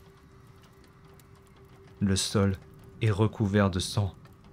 Partout, des corps sont allongés, inertes. Tous sont des déguisements de tortues. En tout, il y a quatre corps, et chacun a été éventré violemment. Je vomis. Mon sac me tombe des mains. Le manuscrit s'ouvre sur la page du deuxième chapitre. Alors que j'essuie ma bouche et mes larmes, je distingue de nouvelles phrases qui apparaissent. Voilà. Ils ont eu ce qu'ils méritaient. Ils ne se moqueront plus jamais de moi. Il est temps de se trouver une nouvelle mission. Mon cœur est en train de perdre les pédales comme mon cerveau. La respiration saccadée. Je me jette sur la porte des toilettes, mais elle est bloquée. Impossible de l'ouvrir. En me retournant, mes yeux croisent le miroir en face de moi. Derrière moi, une ombre de plus de deux mètres de haut est debout, la tête baissée vers le sol et semble attendre.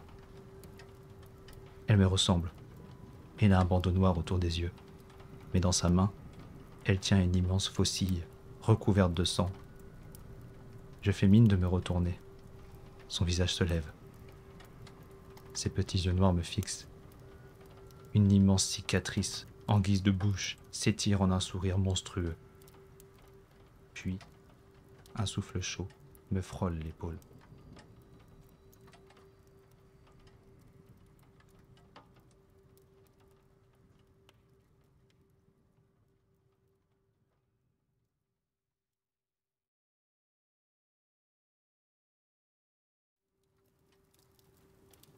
Cet enfant me fait rire sur son tourniquet.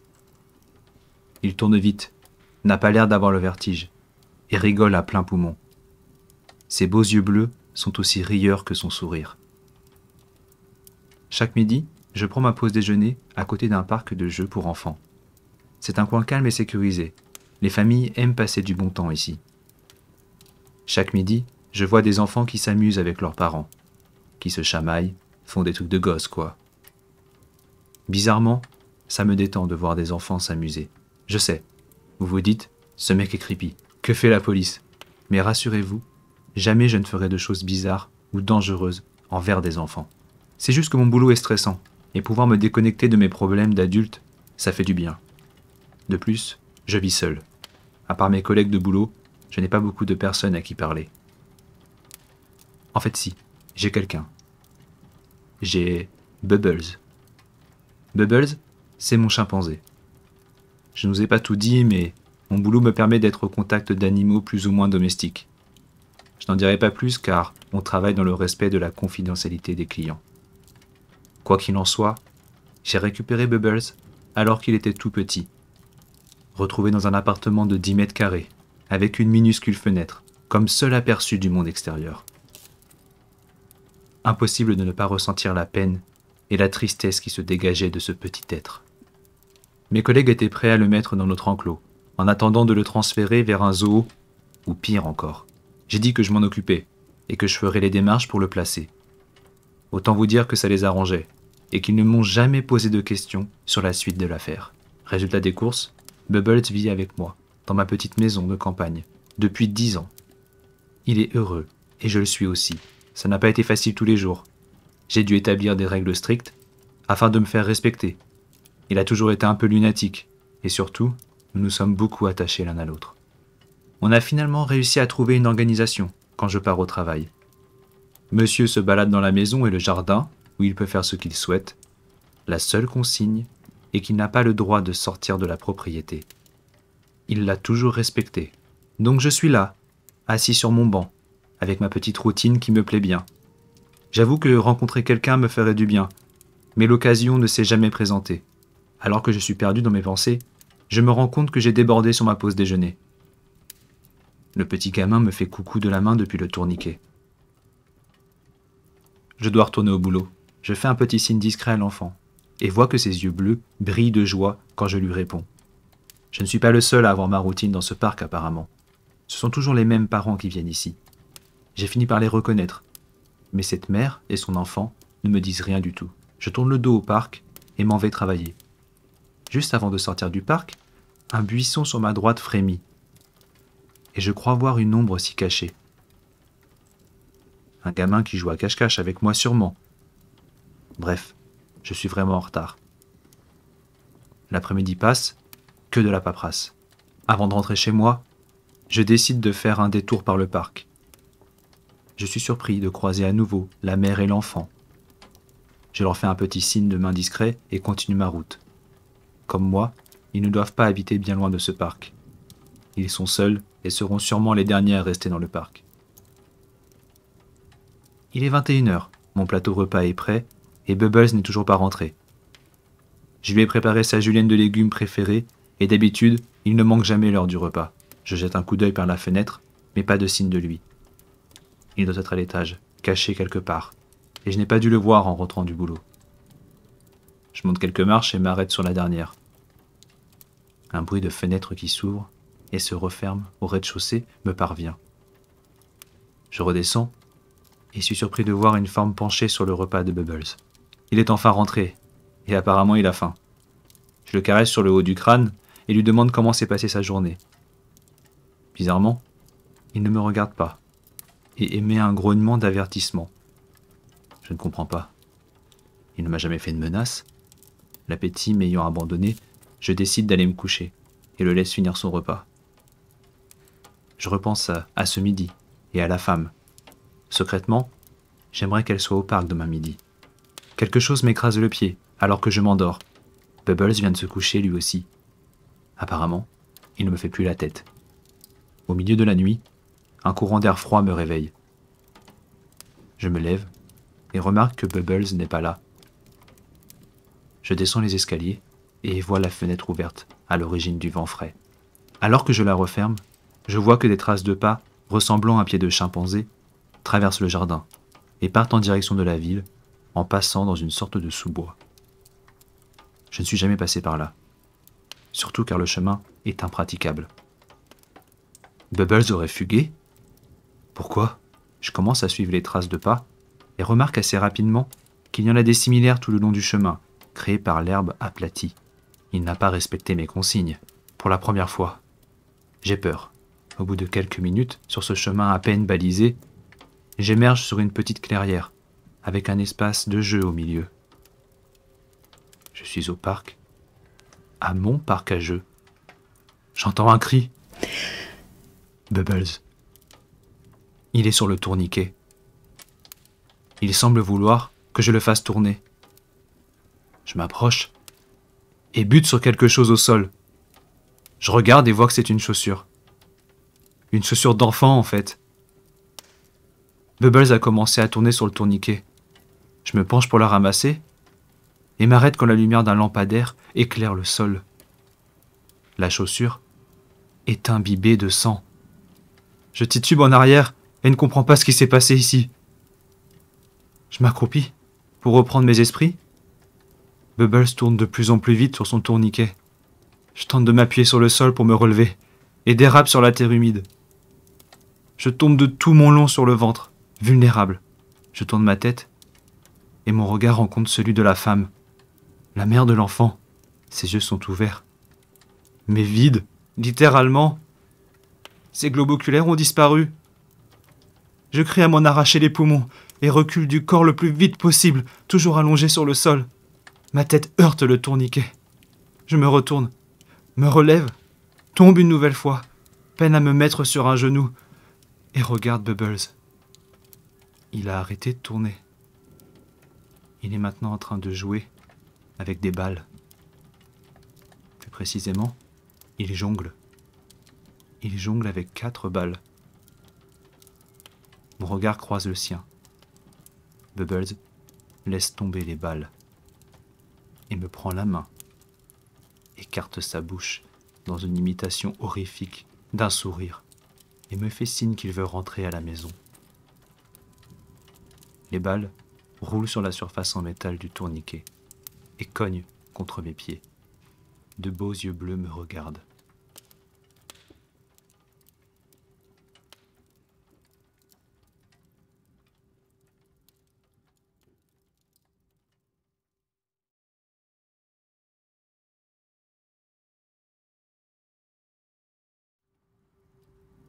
Si je perds encore une fois, je m'occupe moi-même de leur maison.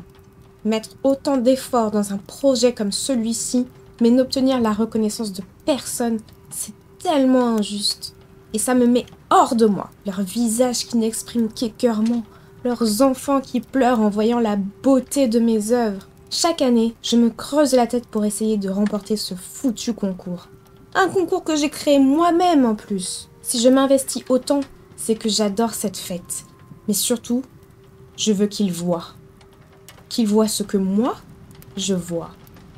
Il semblerait qu'il ne soit pas digne de voir tout court. Pourtant, je garde espoir. Chaque année, je leur laisse une chance. Je veux qu'ils profitent de cette ambiance malsaine qui s'installe.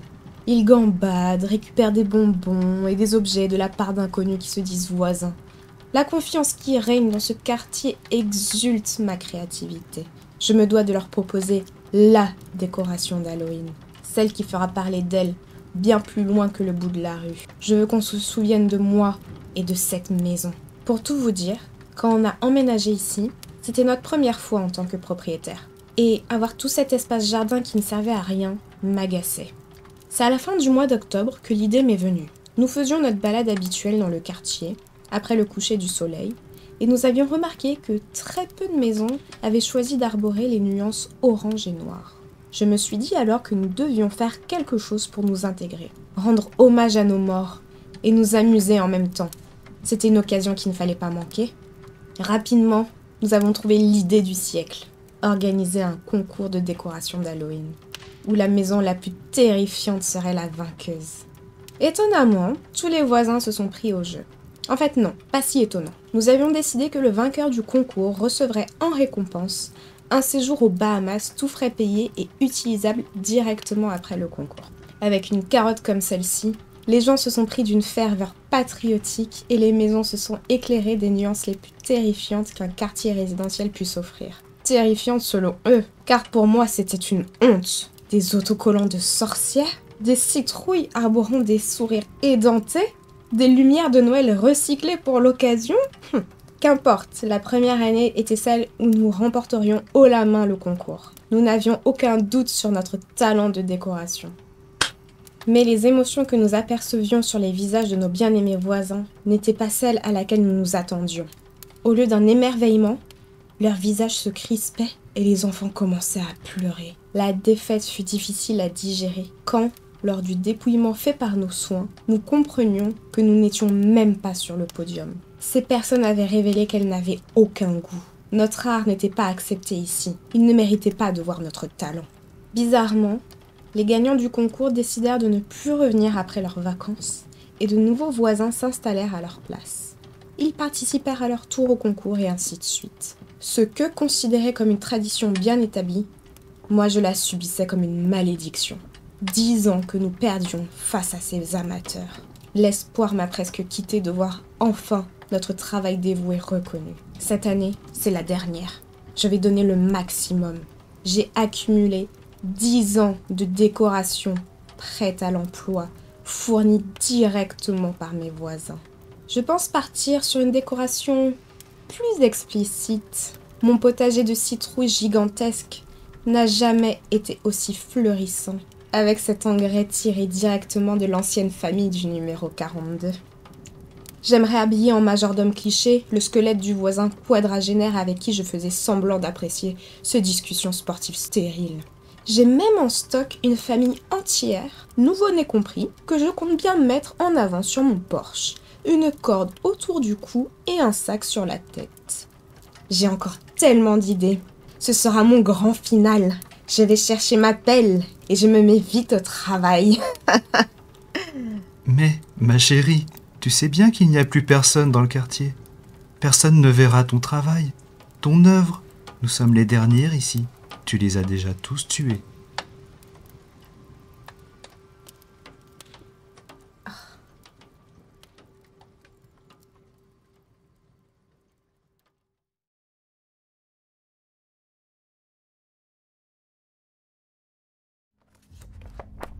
Je ne suis pas du genre à traîner sur les réseaux sociaux pendant des heures, mais du coup quand j'y vais, les algorithmes de YouTube me proposent des vidéos différentes pour mieux me cerner. J'ai le droit à tout, du divertissement, de l'éducationnel, des clips tendances sur des sports automobiles, des vlogs de voyageurs, et j'en passe. Récemment, j'ai eu une recommandation de vidéo qui sortait de l'ordinaire. C'était de l'ASMR.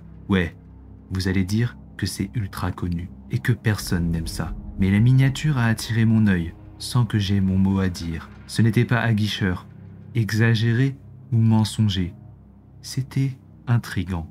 Je clique et déjà je remarque quelque chose d'étrange. La vidéo est classée comme non répertoriée. Comment aurais-je pu la trouver dans mes recommandations? Je n'ai pas le temps de pousser loin la réflexion qu'une ambiance musicale étrange provoque en moi un état de léthargie. Un fond du noir laisse apparaître une silhouette féminine, totalement habillée de noir. On aperçoit seulement son sourire éclairé par une faible lumière. Le reste de sa tête est caché dans la pénombre. L'arrière-plan n'est pas habituel, pas de lumière fluo, de décoration, juste une brume bleutée. La femme ne bouge pas durant quelques secondes. J'essaie d'augmenter le volume pour être sûr de bien entendre.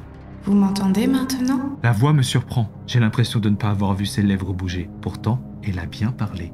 Commence alors une suite de mots qui n'ont pas vraiment de sens à mon oreille. Je suis happé par la voix de la conteuse.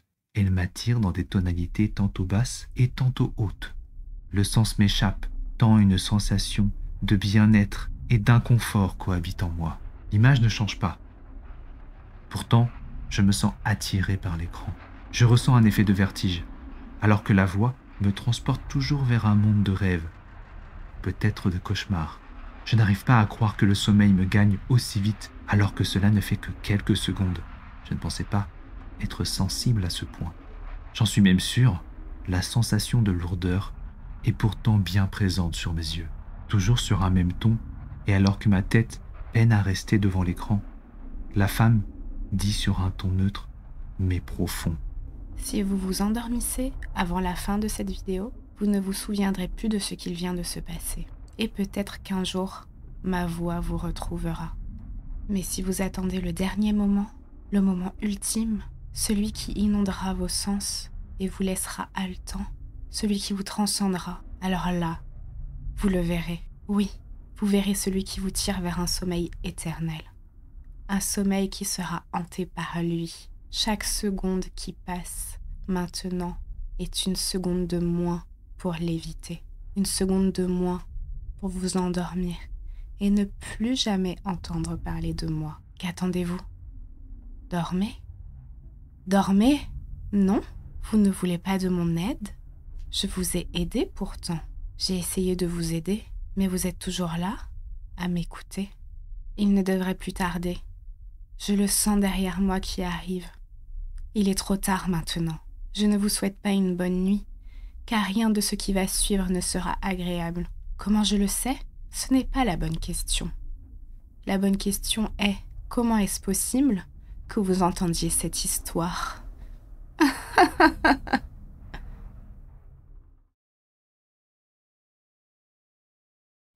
Ma mère organise des vides-greniers depuis que je suis tout petit. Selon elle, c'est une bonne façon de faire du tri. En plus, on rend service à des personnes peut-être dans le besoin. Quand je suis parti de la maison, tout a été mis en vente à prix cassé, dont mes objets personnels. J'avais par exemple une collection de tableaux Disney. Celui du roi lion était parti rapidement à un prix dérisoire. Ma mère ne m'avait pas demandé mon avis. Et j'étais un peu triste de le voir partir comme ça. Donc, j'avais décidé de cacher les autres que j'avais. Elle a continué de faire des vides-greniers avec mes affaires. Et très vite, je ne cherchais plus à savoir ce qui avait été vendu. Les études, le travail, ont fait que j'ai pris involontairement mes distances avec ma famille. Rien de grave, mais nous prenions des nouvelles des autres de moins en moins souvent. Le temps a passé, j'ai grandi et je suis marié. On commençait déjà à accumuler des objets. J'ai convaincu ma femme de faire une brocante, comme quand j'étais petit. Nostalgique, j'ai finalement mis en vente les tableaux, car nous n'en avions pas l'utilité. Et ils prenaient de la place pour rien. Ils étaient partis très vite eux aussi. Une mère désireuse de faire plaisir à ses enfants était ravie de toute cette collection. Ce nettoyage de printemps fit place à de nouveaux objets, de nouveaux souvenirs. Notre maison reflétait notre vie simple, mais heureuse. Rien de spécial ne se produisit durant l'année qui passa, outre le fait que nous fûmes cambriolés deux fois. La première fois, nous avions mis ça sur le dos de la malchance, car la fenêtre de derrière avait été fracturée la deuxième fois, en revanche, fut plus étrange, car aucun signe d'effraction ne fut découvert, et pourtant, nous avions changé les serrures et installé des systèmes d'alarme. Mais la chose la plus étrange à chaque fois, c'était que rien ne semblait être volé. Le peu de bijoux était intact. Le matériel informatique ou les téléphones étaient épargnés eux aussi. Même si rien n'avait été volé, nous nous sentions violés dans notre intimité. D'autant plus que nous ne savions pas ce que voulaient ces gens.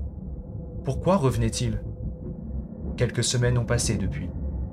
Il fait nuit dehors et une femme est devant ma maison. Je viens de finir de manger. Ma femme est sortie ce soir et je suis seul. J'ai sorti les poubelles et une femme cagoulée m'attend au bout de l'allée. Je l'ai vue dès que j'ai mis les pieds dehors. La femme n'a pas cherché à se cacher non plus. Elle a même l'air d'attendre quelque chose. Je regarde rapidement derrière moi et m'assure qu'il n'y ait personne. Je m'apprête à parler quand elle montre une photo encadrée d'un couple marié. Dans la pénombre ambiante, j'arrive quand même à distinguer les visages. C'est notre photo de mariage. Cette femme est la cambrioleuse. Je prends ma voix la plus menaçante. T'as intérêt à laisser ça sur le sol et à te barrer direct avant que j'appelle les flics. Une seconde passe et elle se met à rigoler. Cette meuf est folle Elle commence à reculer doucement et avec sa main me fait signe de la suivre.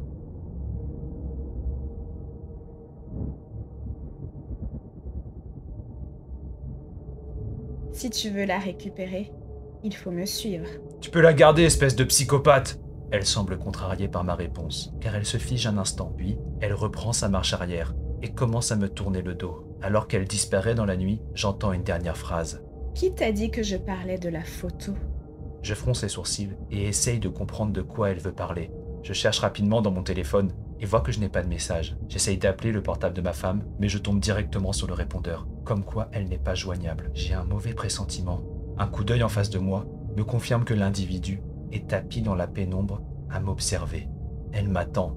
Je fais demi-tour, rentre dans la maison, prends mes clés de voiture, me retourne, et bam Ma vision se remplit de noir, et la dernière chose que je vois est la capuche dissimulant le visage de la cambrioleuse. Quand j'émerge, une douleur aiguë me vrille la tempe droite. Mon œil gauche voit mal, du sang a coulé, et ma vision est teintée de rouge. Je suis assis, et on m'a entravé les poignets. Tant bien que mal, je regarde autour de moi. La pièce est dans le noir, mais je distingue des objets familiers. Je suis dans mon salon. Assis au milieu de la pièce, je vois en face de moi la cheminée, avec des photos de ma femme et moi. Mais il y a aussi d'autres photos de moi quand j'étais plus jeune. Et avec ma famille, je me rappelle maintenant. Nous les avions perdus, impossible de remettre la main dessus. Comment a-t-elle pu réapparaître alors que je suis perdu dans mes pensées? J'entends derrière moi des pas. Je me fige et vois apparaître la même femme encapuchonnée. Elle tient à la main un bracelet. C'est celui de ma femme.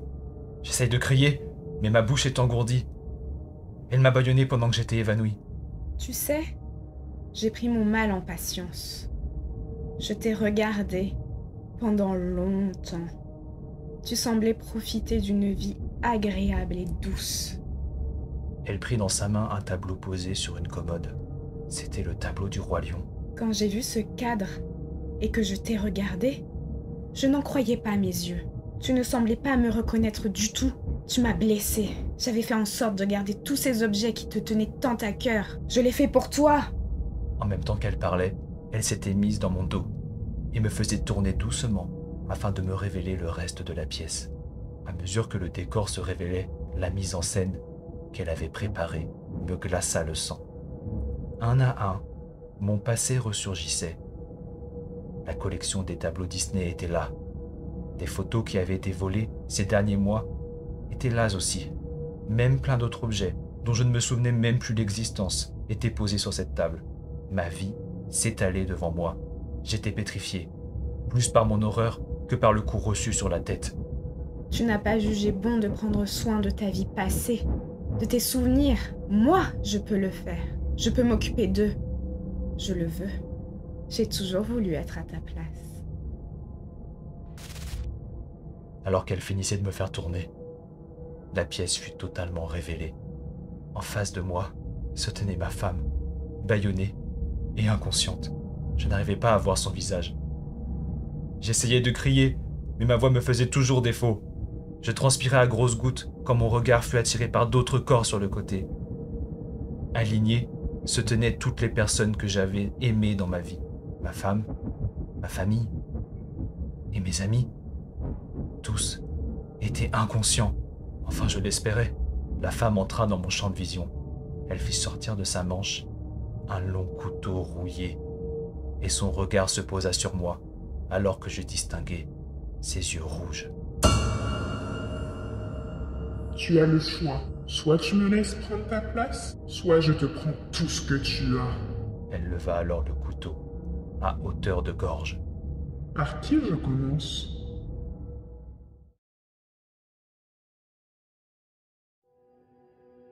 Je me suis inscrite sur un groupe de rencontres d'expatriés français aux USA. J'ai trouvé le poste d'un homme qui propose de fêter Thanksgiving chez lui, entre Français, pour partager un moment convivial et pour la nostalgie du pays. Je ne connais personne, mais j'ai besoin de voir du monde. De plus, parler français me fera du bien. Arrivé là-bas, leur maison est typiquement américaine, de banlieue, avec un beau jardin. La porte d'entrée s'ouvre après avoir toqué. Une silhouette très grande m'accueille. C'est une femme, avec un grand sourire et un teint blafard. Elle reste quelques secondes à me regarder de haut en bas et finit par me demander la raison de ma présence. Je me tortille sur moi-même et explique la raison de ma venue. Ma voix semble la sortir de sa rêverie et elle m'enjoint à entrer dans le hall. Les invités sont déjà tous là et ont commencé à faire connaissance. Je suis quelqu'un de sociable et la conversation tourne vite autour de nos installations respectives aux USA. Une douce musique accompagne ce début de soirée et je me rends compte que j'avais besoin de sortir de mon appartement minuscule. L'hôte se présente à nous assez tardivement car il était en cuisine, occupé à préparer le plat principal. C'est donc sa femme qui joue la guide en nous faisant visiter la maison. Tout est propre et parfaitement rangé. Elle semble n'avoir aucun problème à montrer toutes les pièces de leur grande maison, excepté une porte au fond d'un long couloir peu éclairé. Un gros cadenas semble la condamner. Je demande ce qu'il y a par ici. La femme s'arrête de dos et sans se retourner dit ⁇ Il ne vaut mieux pas que vous y rentriez !⁇ La femme tourne la tête à moitié et nous fait un clin d'œil censé nous rassurer. Un frisson me parcourt le corps et un rapide coup d'œil m'indique que les autres invités aussi. Le tour prend fin sur le salon où la table est dressée avec des lumières tamisées qui donnent une ambiance conviviale. Des photos entourent la pièce et le couple n'a pas l'air d'avoir d'enfants. Nous sommes invités à nous asseoir autour de la table et ce que j'avais imaginé être un apéritif dînatoire ou un cocktail semble plutôt être un dîner barbant. Je ferai plus attention à la description de l'événement la prochaine fois. En tirant ma chaise, je remarque que les accoudoirs sont usés. Ils ont l'air de recevoir souvent. Le temps de s'installer sur nos chaises, l'hôte nous sert les entrées composées de tartines grillées, accompagnées de champignons et de terrines poivrées. Et il nous confie être heureux d'organiser ce repas qui, pour lui, est devenu une tradition. Je profite de ses allers-retours avec sa femme en cuisine pour demander aux invités s'ils ont déjà participé à ce repas, et apparemment c'est une première pour chacun. Et peut-être même la dernière quand je vois certains regards rivés sur leur téléphone. Une fois revenus de cuisine, je demande à nos hôtes s'ils ont gardé contact avec les gens qu'ils invitent chaque année. Malheureusement, ils ne semblent pas avoir de nouvelles d'eux et espèrent les revoir un jour. Ils ne semblent pas plus attristés que cela, car leur sourire n'a pas faibli d'un millimètre.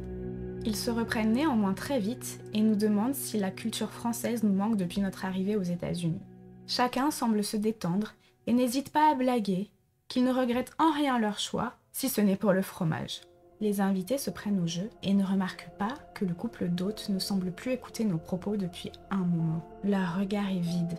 Plus les invités prennent à la légère la nourriture française, plus le sourire figé de nos hôtes disparaît. Alors que certains débattent sur la façon de préparer des cheeseburgers maison, l'homme se lève d'un bond, faisant sursauter tout le monde. Votre discussion sur la gastronomie française me donne une transition toute trouvée pour la suite du repas. En effet, nous aimons les mets de notre cher pays. C'est pourquoi nous allons vous présenter une création fait maison, inspirée de nos précédents Thanksgiving, en espérant que cela vous donne le mal du pays. Sur cette déclaration tout sauf naturelle, l'hôte part en cuisine. Nous nous regardons avec les invités et bizarrement, nous avons le même sentiment. Il y a quelque chose de bizarre chez ce couple. L'odeur de viande cuite nous prend au nez. Elle est très forte. Devant nous, apparaît une immense dinde brunie et crépitante. Elle doit bien faire 60 cm de long et 40 de haut. Je ne sais pas à quoi elle a été nourrie, mais ce n'est pas normal. Nous avons des dindes dans le jardin que nous élevons et engraissons nous-mêmes pour cet événement plus que spécial. dit l'homme en surprenant mon regard. Mon appétit m'a un peu quitté, et je bois au contraire de grandes gorgées de vin rouge carmin et sombre qu'il vient de servir. La découpe est faite rapidement, avec expérience, et les assiettes sont remplies. Chacun commence à manger, et je me surprends à aimer la farce. Je n'en prends pas beaucoup, et je sens le regard de l'autre sur moi. Ce plat ne vous convient pas Je lui réponds que j'ai tendance à avoir un appétit d'oiseau. Il ne semble pas convaincu et fait un sourire plus large qui ressemble plus à une grimace. Ses yeux sont eux aussi étranges. Ils tanguent et grossissent. Je secoue la tête et regarde autour de moi. Les invités ont l'air plus détendus et rigolent entre eux. J'ai une impression de vertige. Oh, j'ai le ventre vide. Et j'ai bu beaucoup trop de vin. Je plante ma fourchette dans la farce et fais mine de la mener à ma bouche.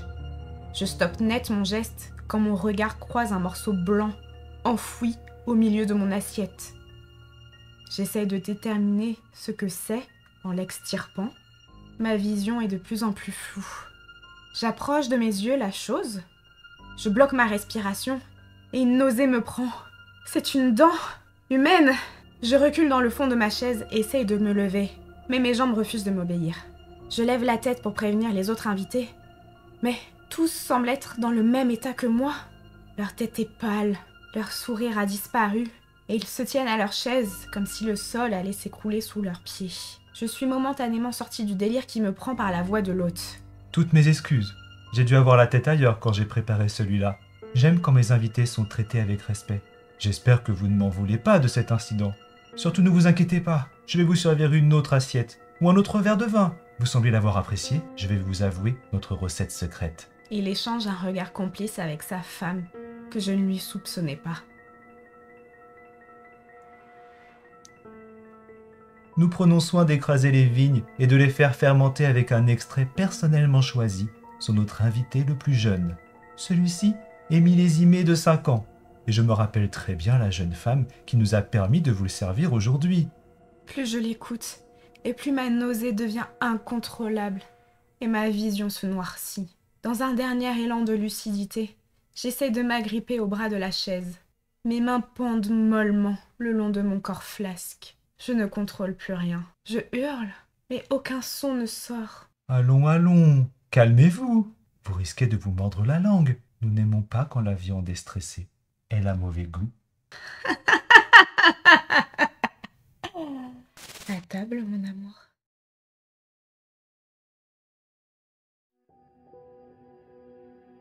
Participer à une excursion de groupe all inclusive était une expérience à vivre au moins une fois dans sa vie. Au début de notre séjour, notre correspondant sur place nous a proposé de participer à une sortie qui nous ferait découvrir la région de manière moins touristique. Nous n'étions pas au courant des activités, car cela aurait été gâcher la surprise selon ses mots. Il est natif de l'île et semble connaître les secrets de chaque lagune, chaque plage. Nous avions donc une journée devant nous pour imaginer nos aventures du lendemain. Sortir des sentiers battus était une habitude pour nous, et nos vacances étaient souvent accompagnées de fausses mésaventures qui finissaient toujours bien, à croire que le Saint-Bernard des randonnées était toujours derrière nous, à nous protéger. Après un réveil difficile et le ventre vide, le bus est déjà prêt à nous emmener, rempli d'autres touristes français. L'intimité de l'excursion semble compromise, et l'air conditionné poussé à fond met un coup de froid sur notre motivation. Le chauffeur semble ne pas nous entendre quand nous lui demandons de la baisser, et au bout de plusieurs tentatives et essayer d'attirer son attention, il est clair que notre bien-être lui importe peu. Sans se laisser abattre, nous prenons notre mal en patience, le temps d'arriver sur le lieu de la première activité. Les champs de canne à sucre défilent devant nos yeux comme des moutons, et le sommeil nous rattrape facilement. Ce court moment de somnolence ne fut pas reposant, et c'est la voix grave du conducteur qui annonce que c'est le moment de descendre. Les uns après les autres, nous descendons et sommes accueillis par un homme encore plus silencieux que notre chauffeur. Son regard se pose sur chacun d'entre nous, alors que nos yeux s'arrondissent devant son visage recouvert de cicatrices.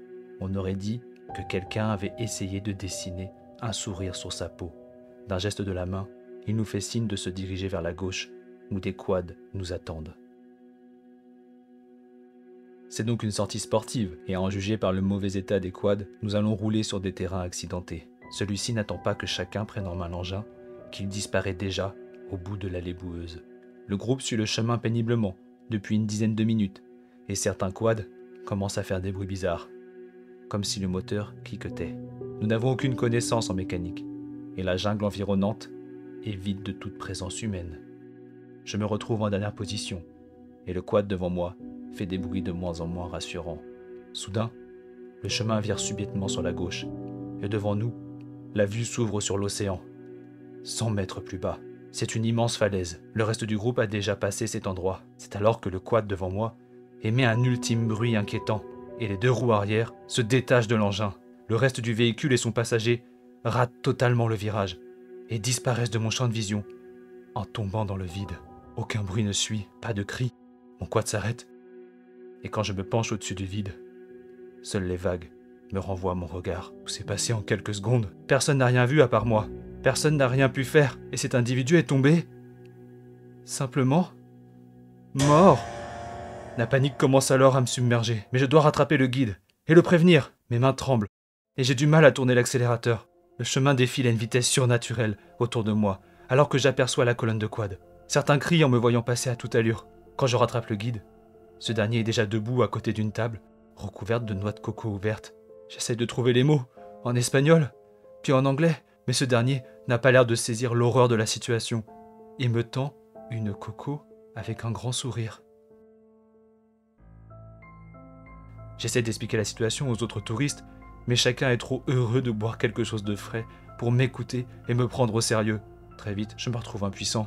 Avec ma boisson exotique au milieu des autres, je laisse tomber la noix pour aller rapidement vomir. Une fois chacun des touristes repus, la balade reprend son cours et personne ne semble remarquer qu'une personne manque à l'appel. Je suis sous le choc et mon quad suit la colonne sans que j'ai à modifier ma trajectoire. Encore une dizaine de minutes qui passent et nous sommes maintenant sur une plage. Une plage magnifique, mais le cœur n'y est pas. Et surtout, je n'arrive pas à déterminer le malaise qui me prend. Rien à voir avec l'accident. C'est plus comme un sixième sens qui me dit de courir vite et loin, mettre le plus de distance possible entre cette île et moi. Alors que la sueur dégouline de ma nuque, un autre guide vient de rejoindre le premier. Il ne semble pas être plus loquace que l'autre. Seule sa bouche est visible. Une capuche dissimule son visage. Les deux ne disent rien et regardent les touristes se plier en deux. Se plier en deux? En effet, la moitié du groupe semble en proie à une danse incontrôlable, pliée, se serrant le corps, gémissant. Il est clair qu'ils ne passent pas un bon moment. Ceux comme moi, qui ont l'air d'être épargnés, regardent sans comprendre la situation. Les guides n'ont pas bougé et tournent la tête vers moi, étrangement rapidement. Quand ils surprennent mon regard, leur sourire s'étire de plus belle. Certains touristes leur demandent d'intervenir, mais aucune réaction. Finalement, celui au visage découvert lève le bras, siffle et fait signe à ceux qui sont encore debout de le suivre dans un camion caché derrière des branchages. Un rapide coup d'œil m'indique que ceux encore avec moi ont enfin compris qu'il y a un malaise. On doit s'enfuir, et vite, le camion a son moteur allumé. Le guide n'est pas grand, nous sommes encore assez nombreux pour le maîtriser et prendre la fuite. D'un signe de tête, nous nous jetons sur lui. Il ne se défend même pas. Nous ne voulons pas lui faire de mal, mais dans l'échauffourée, il se réceptionne mal, et son bras semble avoir un angle bizarre. Pourtant, il ne réagit toujours pas, seul son sourire persiste. Je m'agrippe à la va-vite, à la remorque du camion, alors qu'il démarre en trombe. Le guide ne bouge pas, alors qu'il est rejoint par l'homme à la capuche, une machette à la main, pour le libérer. Sa machette semble recouverte d'un liquide sombre, mais le crépuscule est trop avancé pour déterminer ce que c'est. Nous mettons de la distance entre eux et nous, et bientôt, ils disparaissent de notre champ de vision. Nous sommes sauvés de cet enfer, il ne nous reste plus qu'à appeler de l'aide et rentrer chez nous. Plus jamais je ne ferai d'excursion organisée, comme celle-ci, je le jure. Soudain, un bruit de verre cassé à l'avant du camion nous sort de nos fragiles espoirs. La vitesse diminue, alors que nous sommes au milieu d'un chemin boueux. J'essaie de voir ce qui se passe à l'avant, en me tenant au barreau de la remorque. Je lâche un cri sans pouvoir me contrôler. Le pare-brise a été transpercé par une machette sombre. Il a fini sa course dans la bouche de la touriste au volant. La raideur de son corps indique qu'elle est morte sur le coup. Je suis en train de regarder le pare-brise quand mon œil est attiré par un mouvement à l'extérieur. Dans la lumière des phares, le guide au visage caché se tient debout. Il sourit toujours et fait tomber son capuchon. C'est notre correspondant, celui qui nous a vendu cette excursion. Et je me rends compte maintenant, il a le même visage que celui aux cicatrices. Ce sont des jumeaux, alors qu'il sourit de plus en plus. Une forme sombre, massive, sort de la jungle et vient se mettre à ses pieds. Elle ressemble à un chien, mais comme s'il avait séjourné en enfer. J'essaie de faire avancer le camion, en écrasant la pédale d'accélérateur, mais rien ne bouge. Nous sommes embourbés. J'entends alors la voix du guide. Va chercher. Alors qu'il fonce droit sur nous, je suis sûr de reconnaître ce chien. C'est un Saint-Bernard.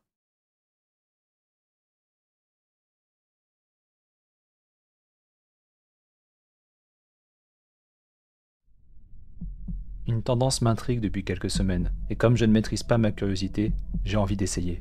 Je me déteste quand je cède à ce genre de caprices sociaux, mais beaucoup de personnes m'en ont parlé comme de la dernière révolution technologique. C'est avec un mélange d'intérêt et de scepticisme que je lance le programme. Ils appellent cela L'AI filter.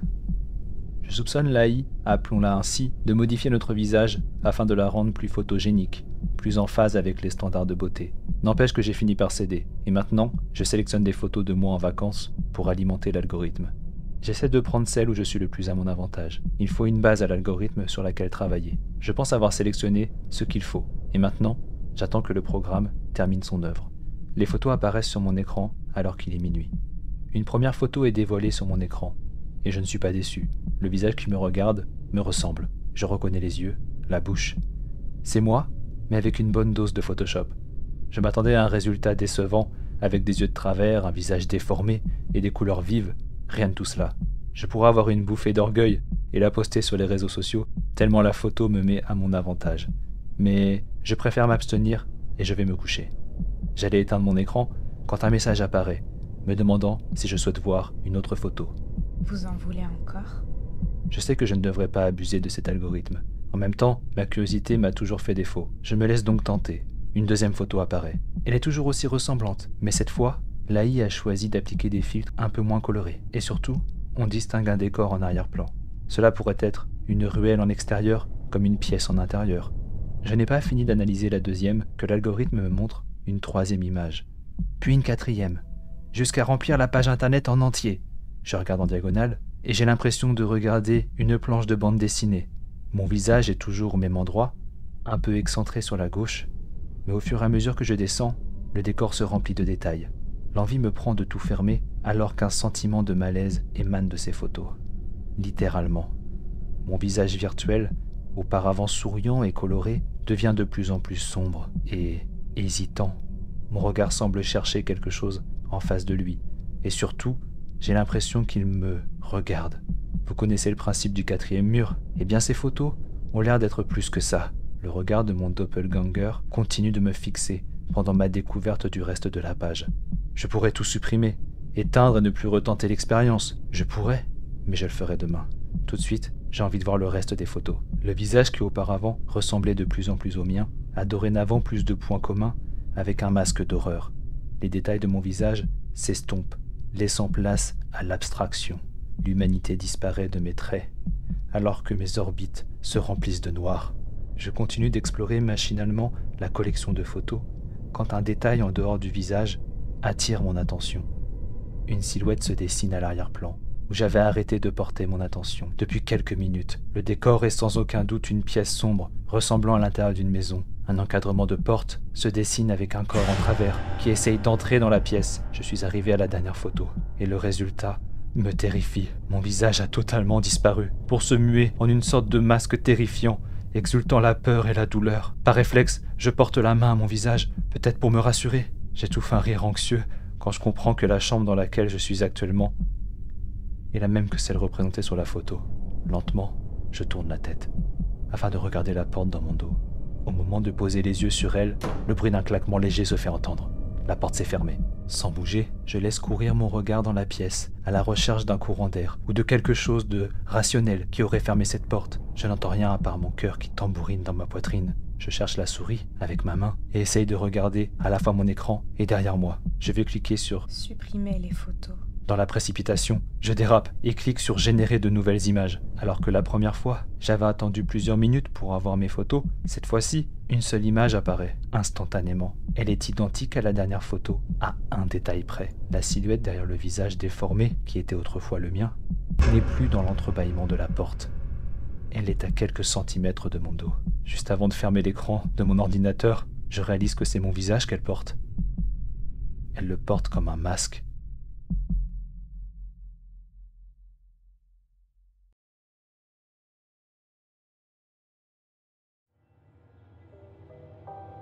Je jette mes gants recouverts de sang dans la poubelle. Je demande à l'interne de nettoyer la chambre pendant que je détourne les yeux du cadavre. Tu as gardé le compte depuis ce matin? L'interne semble espérer se souvenir d'un nombre peu élevé. Malheureusement, je crois qu'on a dépassé les 100 patients. Est-ce que tu as un début d'explication à me donner sur ce qui se passe? En tant que médecin titulaire, j'essaye de faire passer cette question pour un test habituel. Mais je n'ai clairement aucune idée de ce qu'il se passe ici.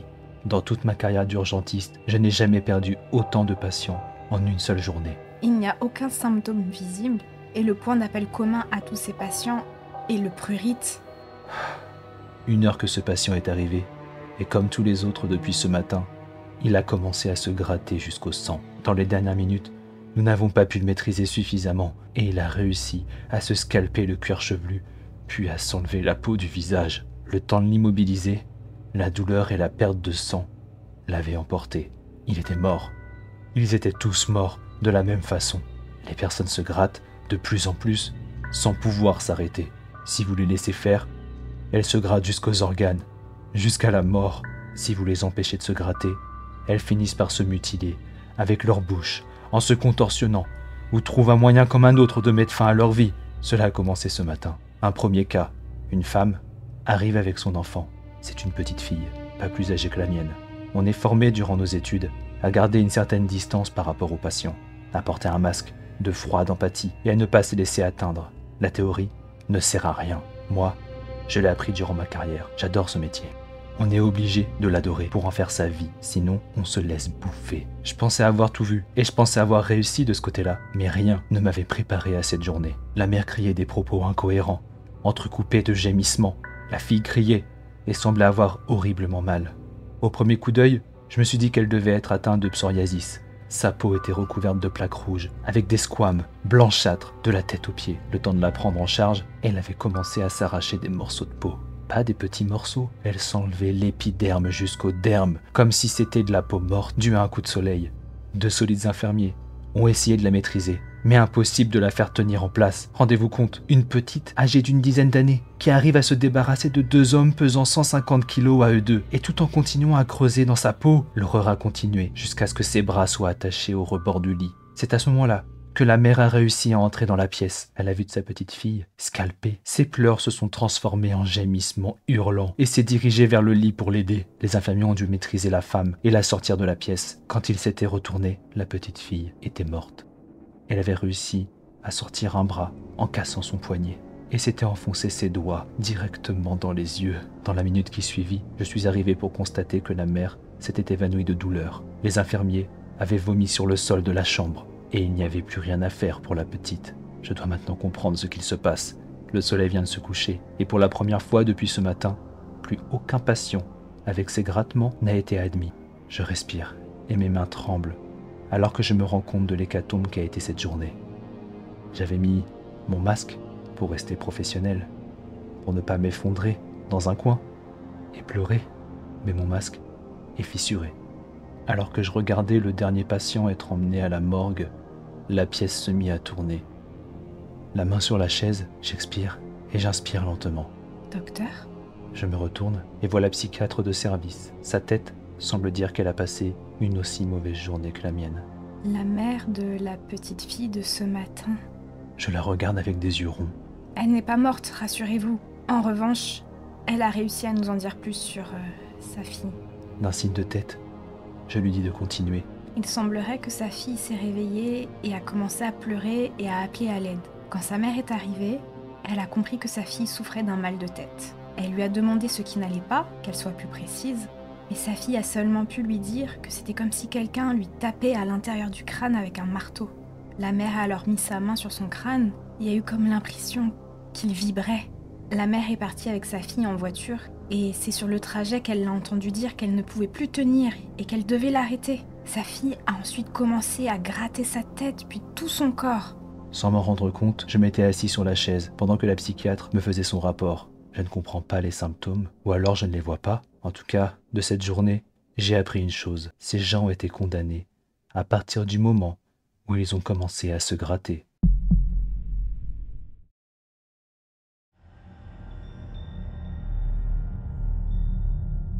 Je n'ose plus sortir de ma chambre la nuit à cause de ma dernière expérience de colocation, datant de l'époque où j'étais encore étudiant. C'était une colocation trouvée à la va-vite, à l'approche de la rentrée universitaire. Je risquais de me retrouver à dormir chez des inconnus ou dans la rue. L'annonce m'avait paru sérieuse, et la rencontre avec mes futurs colocataires s'était plutôt bien passée. L'agencement de la maison était bien pensé, puisque je me retrouvais à habiter le premier étage tout seul. Les autres habitants avaient leurs chambres respectives au rez-de-chaussée, et je ne descendais seulement que pour faire des courses et travailler. Je n'avais pas vraiment d'interaction avec les autres, vu que je passais mon temps à réviser pour mes partiels. De ce que j'avais compris, eux se connaissaient, plutôt bien même, et étudiaient dans le même domaine, quelque chose en rapport avec l'histoire de l'art, car ils se réunissaient régulièrement dans le salon pour discuter de représentations artistiques diverses. Il leur arrivait parfois de s'essayer à la peinture. Enfin, c'est ce que je croyais. J'ai vite compris qu'ils aimaient bien les thèmes religieux et spirituels. J'avais remarqué, sans le noter à mon arrivée, que la décoration était atypique et assez amateur. Des cartes de tarot étaient encadrées, des attrape-rêves agrémentaient les murs du salon, et des tableaux abordant les thèmes du bien et du mal étaient accrochés dans l'escalier. Je n'avais pas vu l'entièreté de leur collection, mais cela suffisait déjà à me mettre mal à l'aise à chaque fois que je devais me rendre au rez-de-chaussée. Cependant, j'avais remarqué que certaines œuvres d'art ne semblaient pas terminées. Un personnage de tableau qui ne devait pas se trouver là, une carte de tarot vide. C'est au bout d'une semaine que cette expérience de colocation a mal tourné. C'était le milieu de la nuit, et je révisais intensément, sans me rendre compte que la faim me tiraillait. Je m'étais décidé à descendre à la cuisine pour trouver autre chose à manger que des chips. Alors que je posais le pied sur la première marche, j'ai regardé par-dessus la balustrade de l'escalier pour voir qu'une de mes colocataires était assise dans le canapé. Sur la table basse, en face d'elle, était disposée une table de Ouija. D'abord, je me suis dit que ça ne me surprenait pas d'elle. Et j'ai continué mon chemin vers le réfrigérateur. En essayant de capter son regard pour lui signaler ma présence, j'ai remarqué qu'elle se tenait totalement droite, les yeux fixés sur la table. Elle ne semblait pas me remarquer. Son attitude était plutôt effrayante en fait, et me filait la chair de poule. Mais ce n'était pas mes affaires, et j'ai préféré continuer mon chemin. En observant une assiette de pâtes de la veille, j'entendis mon prénom. Je tournai la tête et vis que ma colocataire avait posé son regard sur moi. Elle ne clignait pas des yeux. Je lui répondais Oui, sur un ton interrogateur et assez anxieux. Tu devrais partir. J'imagine, oui. J'allais dormir de toute façon. Tu devrais faire pareil. Il est tard. Une fois dans ma chambre, porte fermée, je me rendis compte que mon dos était trempé de sueur. Une fois ma douche prise, je parvins à m'endormir, non sans mal. Je pensais avoir tourné la page de cette conversation bizarre, mais c'était sans compter sur ma colocataire qui était encore assise devant la table de Ouija, dans la même position que la veille, au petit matin. Les autres habitants de la maison étaient debout en face d'elle, en train de chuchoter. Je me penchai discrètement et arriva à saisir des bribes de leur conversation. Je t'avais dit que ce projet était de trop pour elle. On aurait dû se répartir les tâches plus équitablement. La dernière réunion ne l'a pas épargnée. On trouvera l'inspiration autrement. Une fois rejoint, je leur demanda ce qu'ils faisaient, et leur expression changea rapidement. Chacun me regarda comme si je me moquais d'eux. Elle a pleuré toute la nuit et n'a pas quitté le canapé. Impossible de dormir. C'est bizarre. Elle m'a parlé avant que je me couche. C'est vrai qu'elle semblait fatiguée, mais rien d'inquiétant. Je ne l'ai pas entendu pleurer, moi. On était en train de réfléchir si oui ou non on devait appeler quelqu'un, quand soudain, elle sembla me remarquer. Avec un air perdu, clairement visible sur son visage. Qu'est-ce que vous faites tout cela à me regarder? Elle vit alors la table de Ouija posée devant elle. Son regard s'arrondit de terreur et nous demanda Qu'est-ce que ça fiche ici? Je lui répondis qu'elle avait dû la sortir hier, pendant sa séance spirituelle privée. Euh, J'ai déjà eu des crises de somnambulisme. Je dois être trop stressée ces derniers temps. En disant cela, elle lança un regard angoissé aux autres colocataires. Sur ces mots, elle se leva, rangea la table et s'enferma dans sa chambre, comme si cette discussion n'avait jamais eu lieu. Pour ma part, je repris le cours de ma vie, mes journées oscillant entre cours et révisions intensives. Un soir, je m'apprêtais à descendre les escaliers pour aller chercher à manger. Mon instinct me dit de faire le moins de bruit possible et de regarder par-dessus la balustrade. Ma colocataire était encore là, et la table de Ouija aussi, mais cette fois, Un homme était assis à côté d'elle, et j'en étais sûr, il n'habitait pas chez nous. C'était faible, mais j'entendis qu'elle pleurait doucement. Les mains de l'homme étaient posées sur celles de ma colocataire, et semblaient diriger le palais du Ouija sur des lettres. J'essayais de lire ce qu'ils écrivaient. Chaque mouvement de palais me glaçait un peu plus le sang, tandis que les lettres formaient peu à peu mon prénom. J'ai essayé de sortir mon téléphone de ma poche pour filmer la scène et mettre ma colocataire devant le fait accompli le lendemain matin. Mais ma main se coinça dans ma poche et laissa tomber mon téléphone sur le sol. Au bruit sourd du choc, les deux individus levèrent la tête vers moi. Ma colocataire avait le regard livide et je n'arrivais pas à distinguer le visage de l'homme. Il semblait lui dire quelque chose, car elle se leva d'un bond, à une vitesse effarante, comme si son corps ne pesait rien, et elle se dirigea vers moi. Mon téléphone récupéré, je courus m'enfermer dans ma chambre et verrouilla la porte. À peine eus-je le temps de la fermer que ma colocataire frappa de toutes ses forces sur le bois. Je m'écartai le plus possible et me prostrai dans un coin de la pièce, avec la porte dans mon champ de vision. Le vacarme réveilla les autres occupants de la maison, et je les entendis monter l'escalier. Puis, plus aucun bruit. Je n'osais pas bouger, jusqu'au petit matin. C'est seulement quand je fus sûr que la lumière du jour éclairait la maison que je me décida à sortir. Personne derrière la porte. Et après inspection, personne dans la maison. La table de Ouija avait disparu, et mes colocataires aussi. Le soir même, j'avais déjà empaqueté mes affaires et trouvé un hôtel où dormir. Je n'ai plus jamais eu de nouvelles de ces personnes.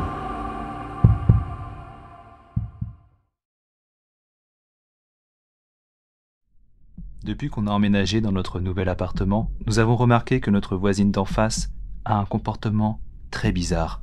Nous n'avons pas pu se présenter à elle et il est possible qu'elle ne sache même pas que nous soyons là. Chaque matin, je l'entends descendre l'escalier, puis remonter et s'enfermer chez elle.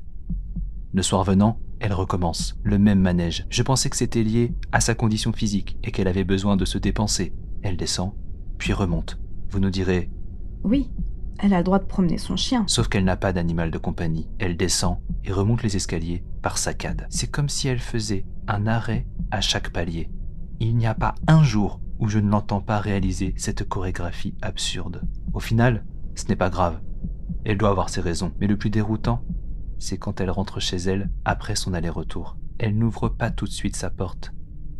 Elle reste plantée devant et attend bien dix minutes. Dix minutes où elle reste immobile, à fixer le Judas de sa porte. Je n'ose pas ouvrir ma porte pour lui demander si tout va bien. Donc, je me contente aussi de regarder à travers mon Judas. Je culpabilise et me sens honteux, car même si son comportement est bizarre, je finis moi aussi par me comporter de la même manière. À la longue, je reconnais même le bruit de ses pas, et je sais quand elle se tient devant sa porte. Cela commence à me rendre fou. Malheureusement, j'ai commis une erreur. Hier soir, je voulais regarder discrètement, comme d'habitude par l'œillet, en sachant pertinemment ce que je verrais. Mais mon pied a heurté une chaussure mal rangée, et celle-ci est venue cogner bruyamment contre la porte d'entrée. Je me suis immobilisé, me maudissant de ma maladresse. Levant lentement mes yeux vers le trou, j'ai prié pour qu'elle n'ait rien remarqué. Elle se tenait debout, devant sa porte, immobile. Comme d'habitude, pendant quelques secondes, j'ai pris le temps de détailler son dos voûté, ses cheveux noirs, striés de reflets d'argent. Elle ne devait pas être toute jeune. Cela devait faire bien 30 secondes que je retenais ma respiration. D'un pas, j'ai reculé afin de faire le moins de bruit possible. Pendant ce laps de temps, j'ai entendu la porte d'en face claquer. La voisine, ayant très certainement disparu à l'intérieur de son appartement. Et la beau semblait vieille, mais elle est rapide quand elle veut. La respiration encore haletante, je suis allé me coucher. Ce fut au milieu de la nuit que je fus réveillé par un bruit discret de verrou qui s'ouvre. Ma femme dormait à point fermé. Mon instinct me dit que le bruit venait forcément du palier. Afin de ne réveiller personne, mais surtout de ne pas me faire remarquer, j'entrepris de marcher lentement jusqu'à la porte, sans allumer de lumière. Le sol de notre appartement étant recouvert de vieux parquets, j'ai appris à éviter les planches grinçantes. Le trajet me parut long jusqu'au Judas. J'hésitai un instant à coller mon œil, me rappelant la frousse que je m'étais faite il y avait encore quelques heures. N'y tenant plus, je me suis penché pour observer le couloir. J'eus du mal à réprimer un frisson, quand son dos maintenant familier se tenait devant l'entrée. Elle faisait une fixette sur sa porte en plein milieu de la nuit. J'allais partir, quand elle fit un seul pas en arrière, en direction de notre porte. Lentement, elle leva les bras et attrapa ses cheveux derrière sa tête. J'eus une chair de poule incontrôlable. Un œil unique et injecté de sang me regardait depuis l'arrière de son crâne. Depuis tout ce temps, elle ne regardait pas sa porte, elle me regardait moi. Le temps d'un battement de paupières, et l'œil derrière son crâne avait disparu, comme si je l'avais imaginé. Elle lâcha ses cheveux, et toujours de dos, leva son bras dans un angle bizarre pour toquer à notre porte. Très légèrement, tellement légèrement que ma femme ne pouvait l'entendre. Elle continua pendant une dizaine de minutes, sans que j'eusse la moindre envie d'ouvrir ou même de bouger. Finalement, elle ouvrit sa porte et entra chez elle, sans que je puisse distinguer l'intérieur. Le lendemain, j'ai fait condamner le Judas de notre porte et isoler les contours de sorte à ne plus jamais l'entendre ni la voir. Mais chaque nuit, quand les habitants sont tous endormis, que même les animaux et la lune semblent dans un sommeil profond, j'ai comme l'impression d'entendre un léger tapotement.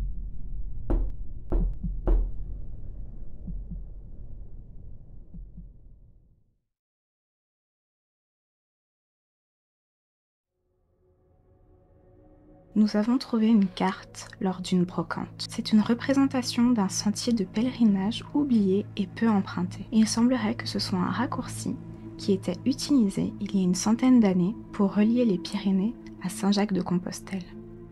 Nous sommes donc partis, tout feu tout flamme, en itinérance pendant quatre jours, coupés de la civilisation et peut-être même de tout contact humain.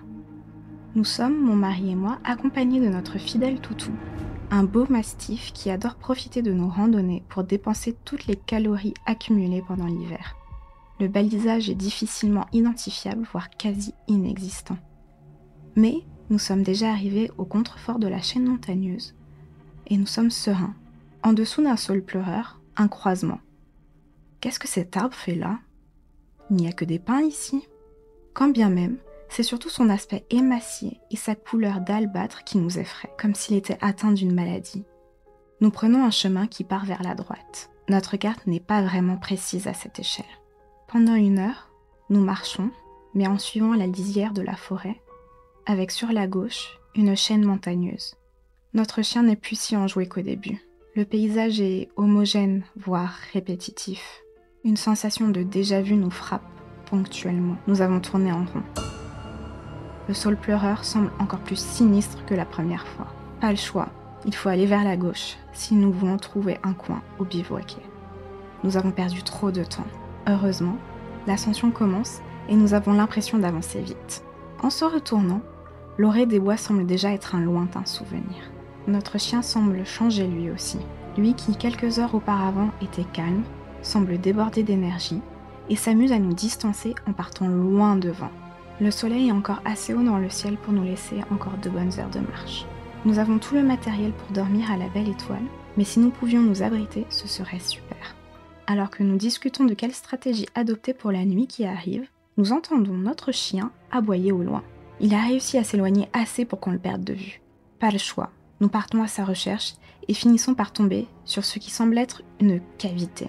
En s'approchant, cela ressemble plus à l'entrée d'une grotte suffisamment haute pour que nous puissions nous tenir debout à l'intérieur. Nous appelons le chien, mais pas de réponse. Nous qui cherchions un abri, celui-ci semble parfait.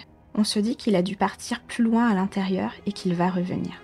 Pendant ce temps-là, nous décidons de monter le camp à l'entrée de la grotte. Une heure passe, nous avons mangé un peu, et toujours aucun signe de notre chien. On décide de s'avancer à l'intérieur, et remarquons que la profondeur de la grotte est beaucoup plus importante que ce que nous imaginions. Un écho résonne pendant de longues secondes lorsque nous parlons. Notre lampe torche est rapidement d'une grande aide, car la lumière du jour finit par ne plus nous éclairer à mesure que nous nous enfonçons. Alors que nous descendons, un couinement se fait entendre, puis un deuxième, suivi d'un grognement. C'est vrai qu'on s'aventure dans une grotte sans avoir aucune idée de ce qu'il peut y avoir dedans. Il pourrait très bien y avoir un loup, ou pire, sauf qu'un autre bruit nous rassure. Le collier accroché à notre chien émet un bruit de clochette légère et nous venons d'entendre exactement le même son. Il est donc là-bas, sacré cabot. Il nous fiche une peur bleue juste avant de dormir. C'est pas cool. Alors que nous avançons, de la lumière commence à apparaître devant nous. Quelques mètres encore et nous sommes bouche bée.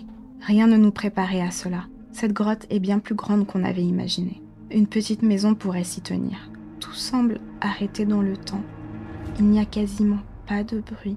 Il n'y a surtout plus de bruit de clochette. La faible lumière qui filtre semble venir du dessus. Et... Mais... Qu'est-ce que... Au milieu du plafond est suspendue une croix. Elle doit bien faire 3 mètres de haut, d'un bois massif et épais, et surtout blanchâtre comme si le bois était malade. En y regardant de plus près, le plafond semble briller et émet une sorte de lumière, mais il n'y a pas de trou, et une tache de couleur est à quelques mètres derrière la croix. Nous nous regardons pour savoir si nous ne sommes pas pris d'une hallucination collective. Je vois au regard de mon mari que quelque chose ne va pas. Il me montre le plafond, là où nous avions vu cette tache. Parce qu'en fait, c'est notre chien que nous voyons. Il est allongé et semble aboyer, mais nous n'entendons rien. Un miroir au plafond de cette grotte? Mais il serait gigantesque. Une sorte de palais des glaces Une illusion d'optique Alors que nous baissons les yeux au niveau du sol, nous inspectons la grotte à la recherche du chien. Une pensée me vient. Si ce plafond est un miroir et que nous voyons ce reflet, où est la croix qui se reflète dans le plafond? Il n'y a rien ici. Alors qu'elle devrait être à 5 mètres devant nous, ça n'a pas de sens. Et notre reflet à nous Nous avançons dans la direction supposée de notre chien, quand mon mari me prend le bras et m'arrête et me fait accroupir derrière un rocher. De l'autre côté de ce dernier, un grondement et un souffle lourd se font entendre. Nous passons la tête au-dessus du rocher, lentement. Derrière, un animal à quatre pattes, un berbe avec une queue. Mais ce n'est pas notre chien. Les membres sont trop grands. Le museau est déchiré d'un sourire presque humain, rempli de dents acérées. La chose semble respirer difficilement, comme un nouveau-né arrivé dans notre monde. Nous reculons précipitamment et faisons tomber une pierre qui résonne dans toute la caverne. Horrifiés, nous voyons le monstre ouvrir son unique œil noir et nous regarder fixement. Son sourire quasi humain s'étire encore plus. Nous ne sommes pas croyants, mais nous savons interpréter les signes. Le reflet de la croix modifie notre perception, et nous n'avions pas réalisé que si elle était à l'endroit au-dessus, dans le miroir, elle est à l'envers. Et une croix à l'envers n'est jamais un bon signe. Alors que nous accélérons notre pas vers la sortie de cette caverne, la chose qui a remplacé notre chien semble attendre quelque chose. Je suis quasiment arrivée à l'entrée du tunnel qui mène vers la sortie, quand mon mari commence à crier. Je me retourne et vois que des mains décharnées sont sorties du miroir et l'ont attrapé par les épaules pour la tirer vers le plafond. Malgré ma peur, j'essaye d'attraper sa main. Mais je suis trop petite, il est déjà au contact du miroir. Je saute alors sur le rocher le plus proche et arrive à saisir sa cheville au moment où sa tête passe entièrement à la surface. Je crie son nom, le supplie de me dire qu'il va bien. Mais la seule réponse que j'obtiens est un cri situé dans le miroir. Ces choses sont en train de l'absorber, je ne peux rien faire. C'est alors que dans ma vision périphérique, je vois le reflet de notre chien qui fonce vers là où la tête a disparu. Un gémissement inhumain me transperce les oreilles alors que j'exerce une pression sur la cheville. J'hurle aussi de douleur quand mon poignet craque et que mes phalanges se brisent. Je sens que je gagne de plus en plus de terrain à mesure que notre chien se bat de l'autre côté. Je vois enfin la tête de mon mari et arrive à le tirer au sol. Il est évanoui, mais semble vivant. Son visage est recouvert d'un liquide qui ressemble à du sang, mais qui n'est pas le sien. Je passe mon bras endolori sous son épaule et commence à avancer difficilement vers la sortie du tunnel, alors que derrière, les cris de ces abominations se mélangent au gémissement de notre chien.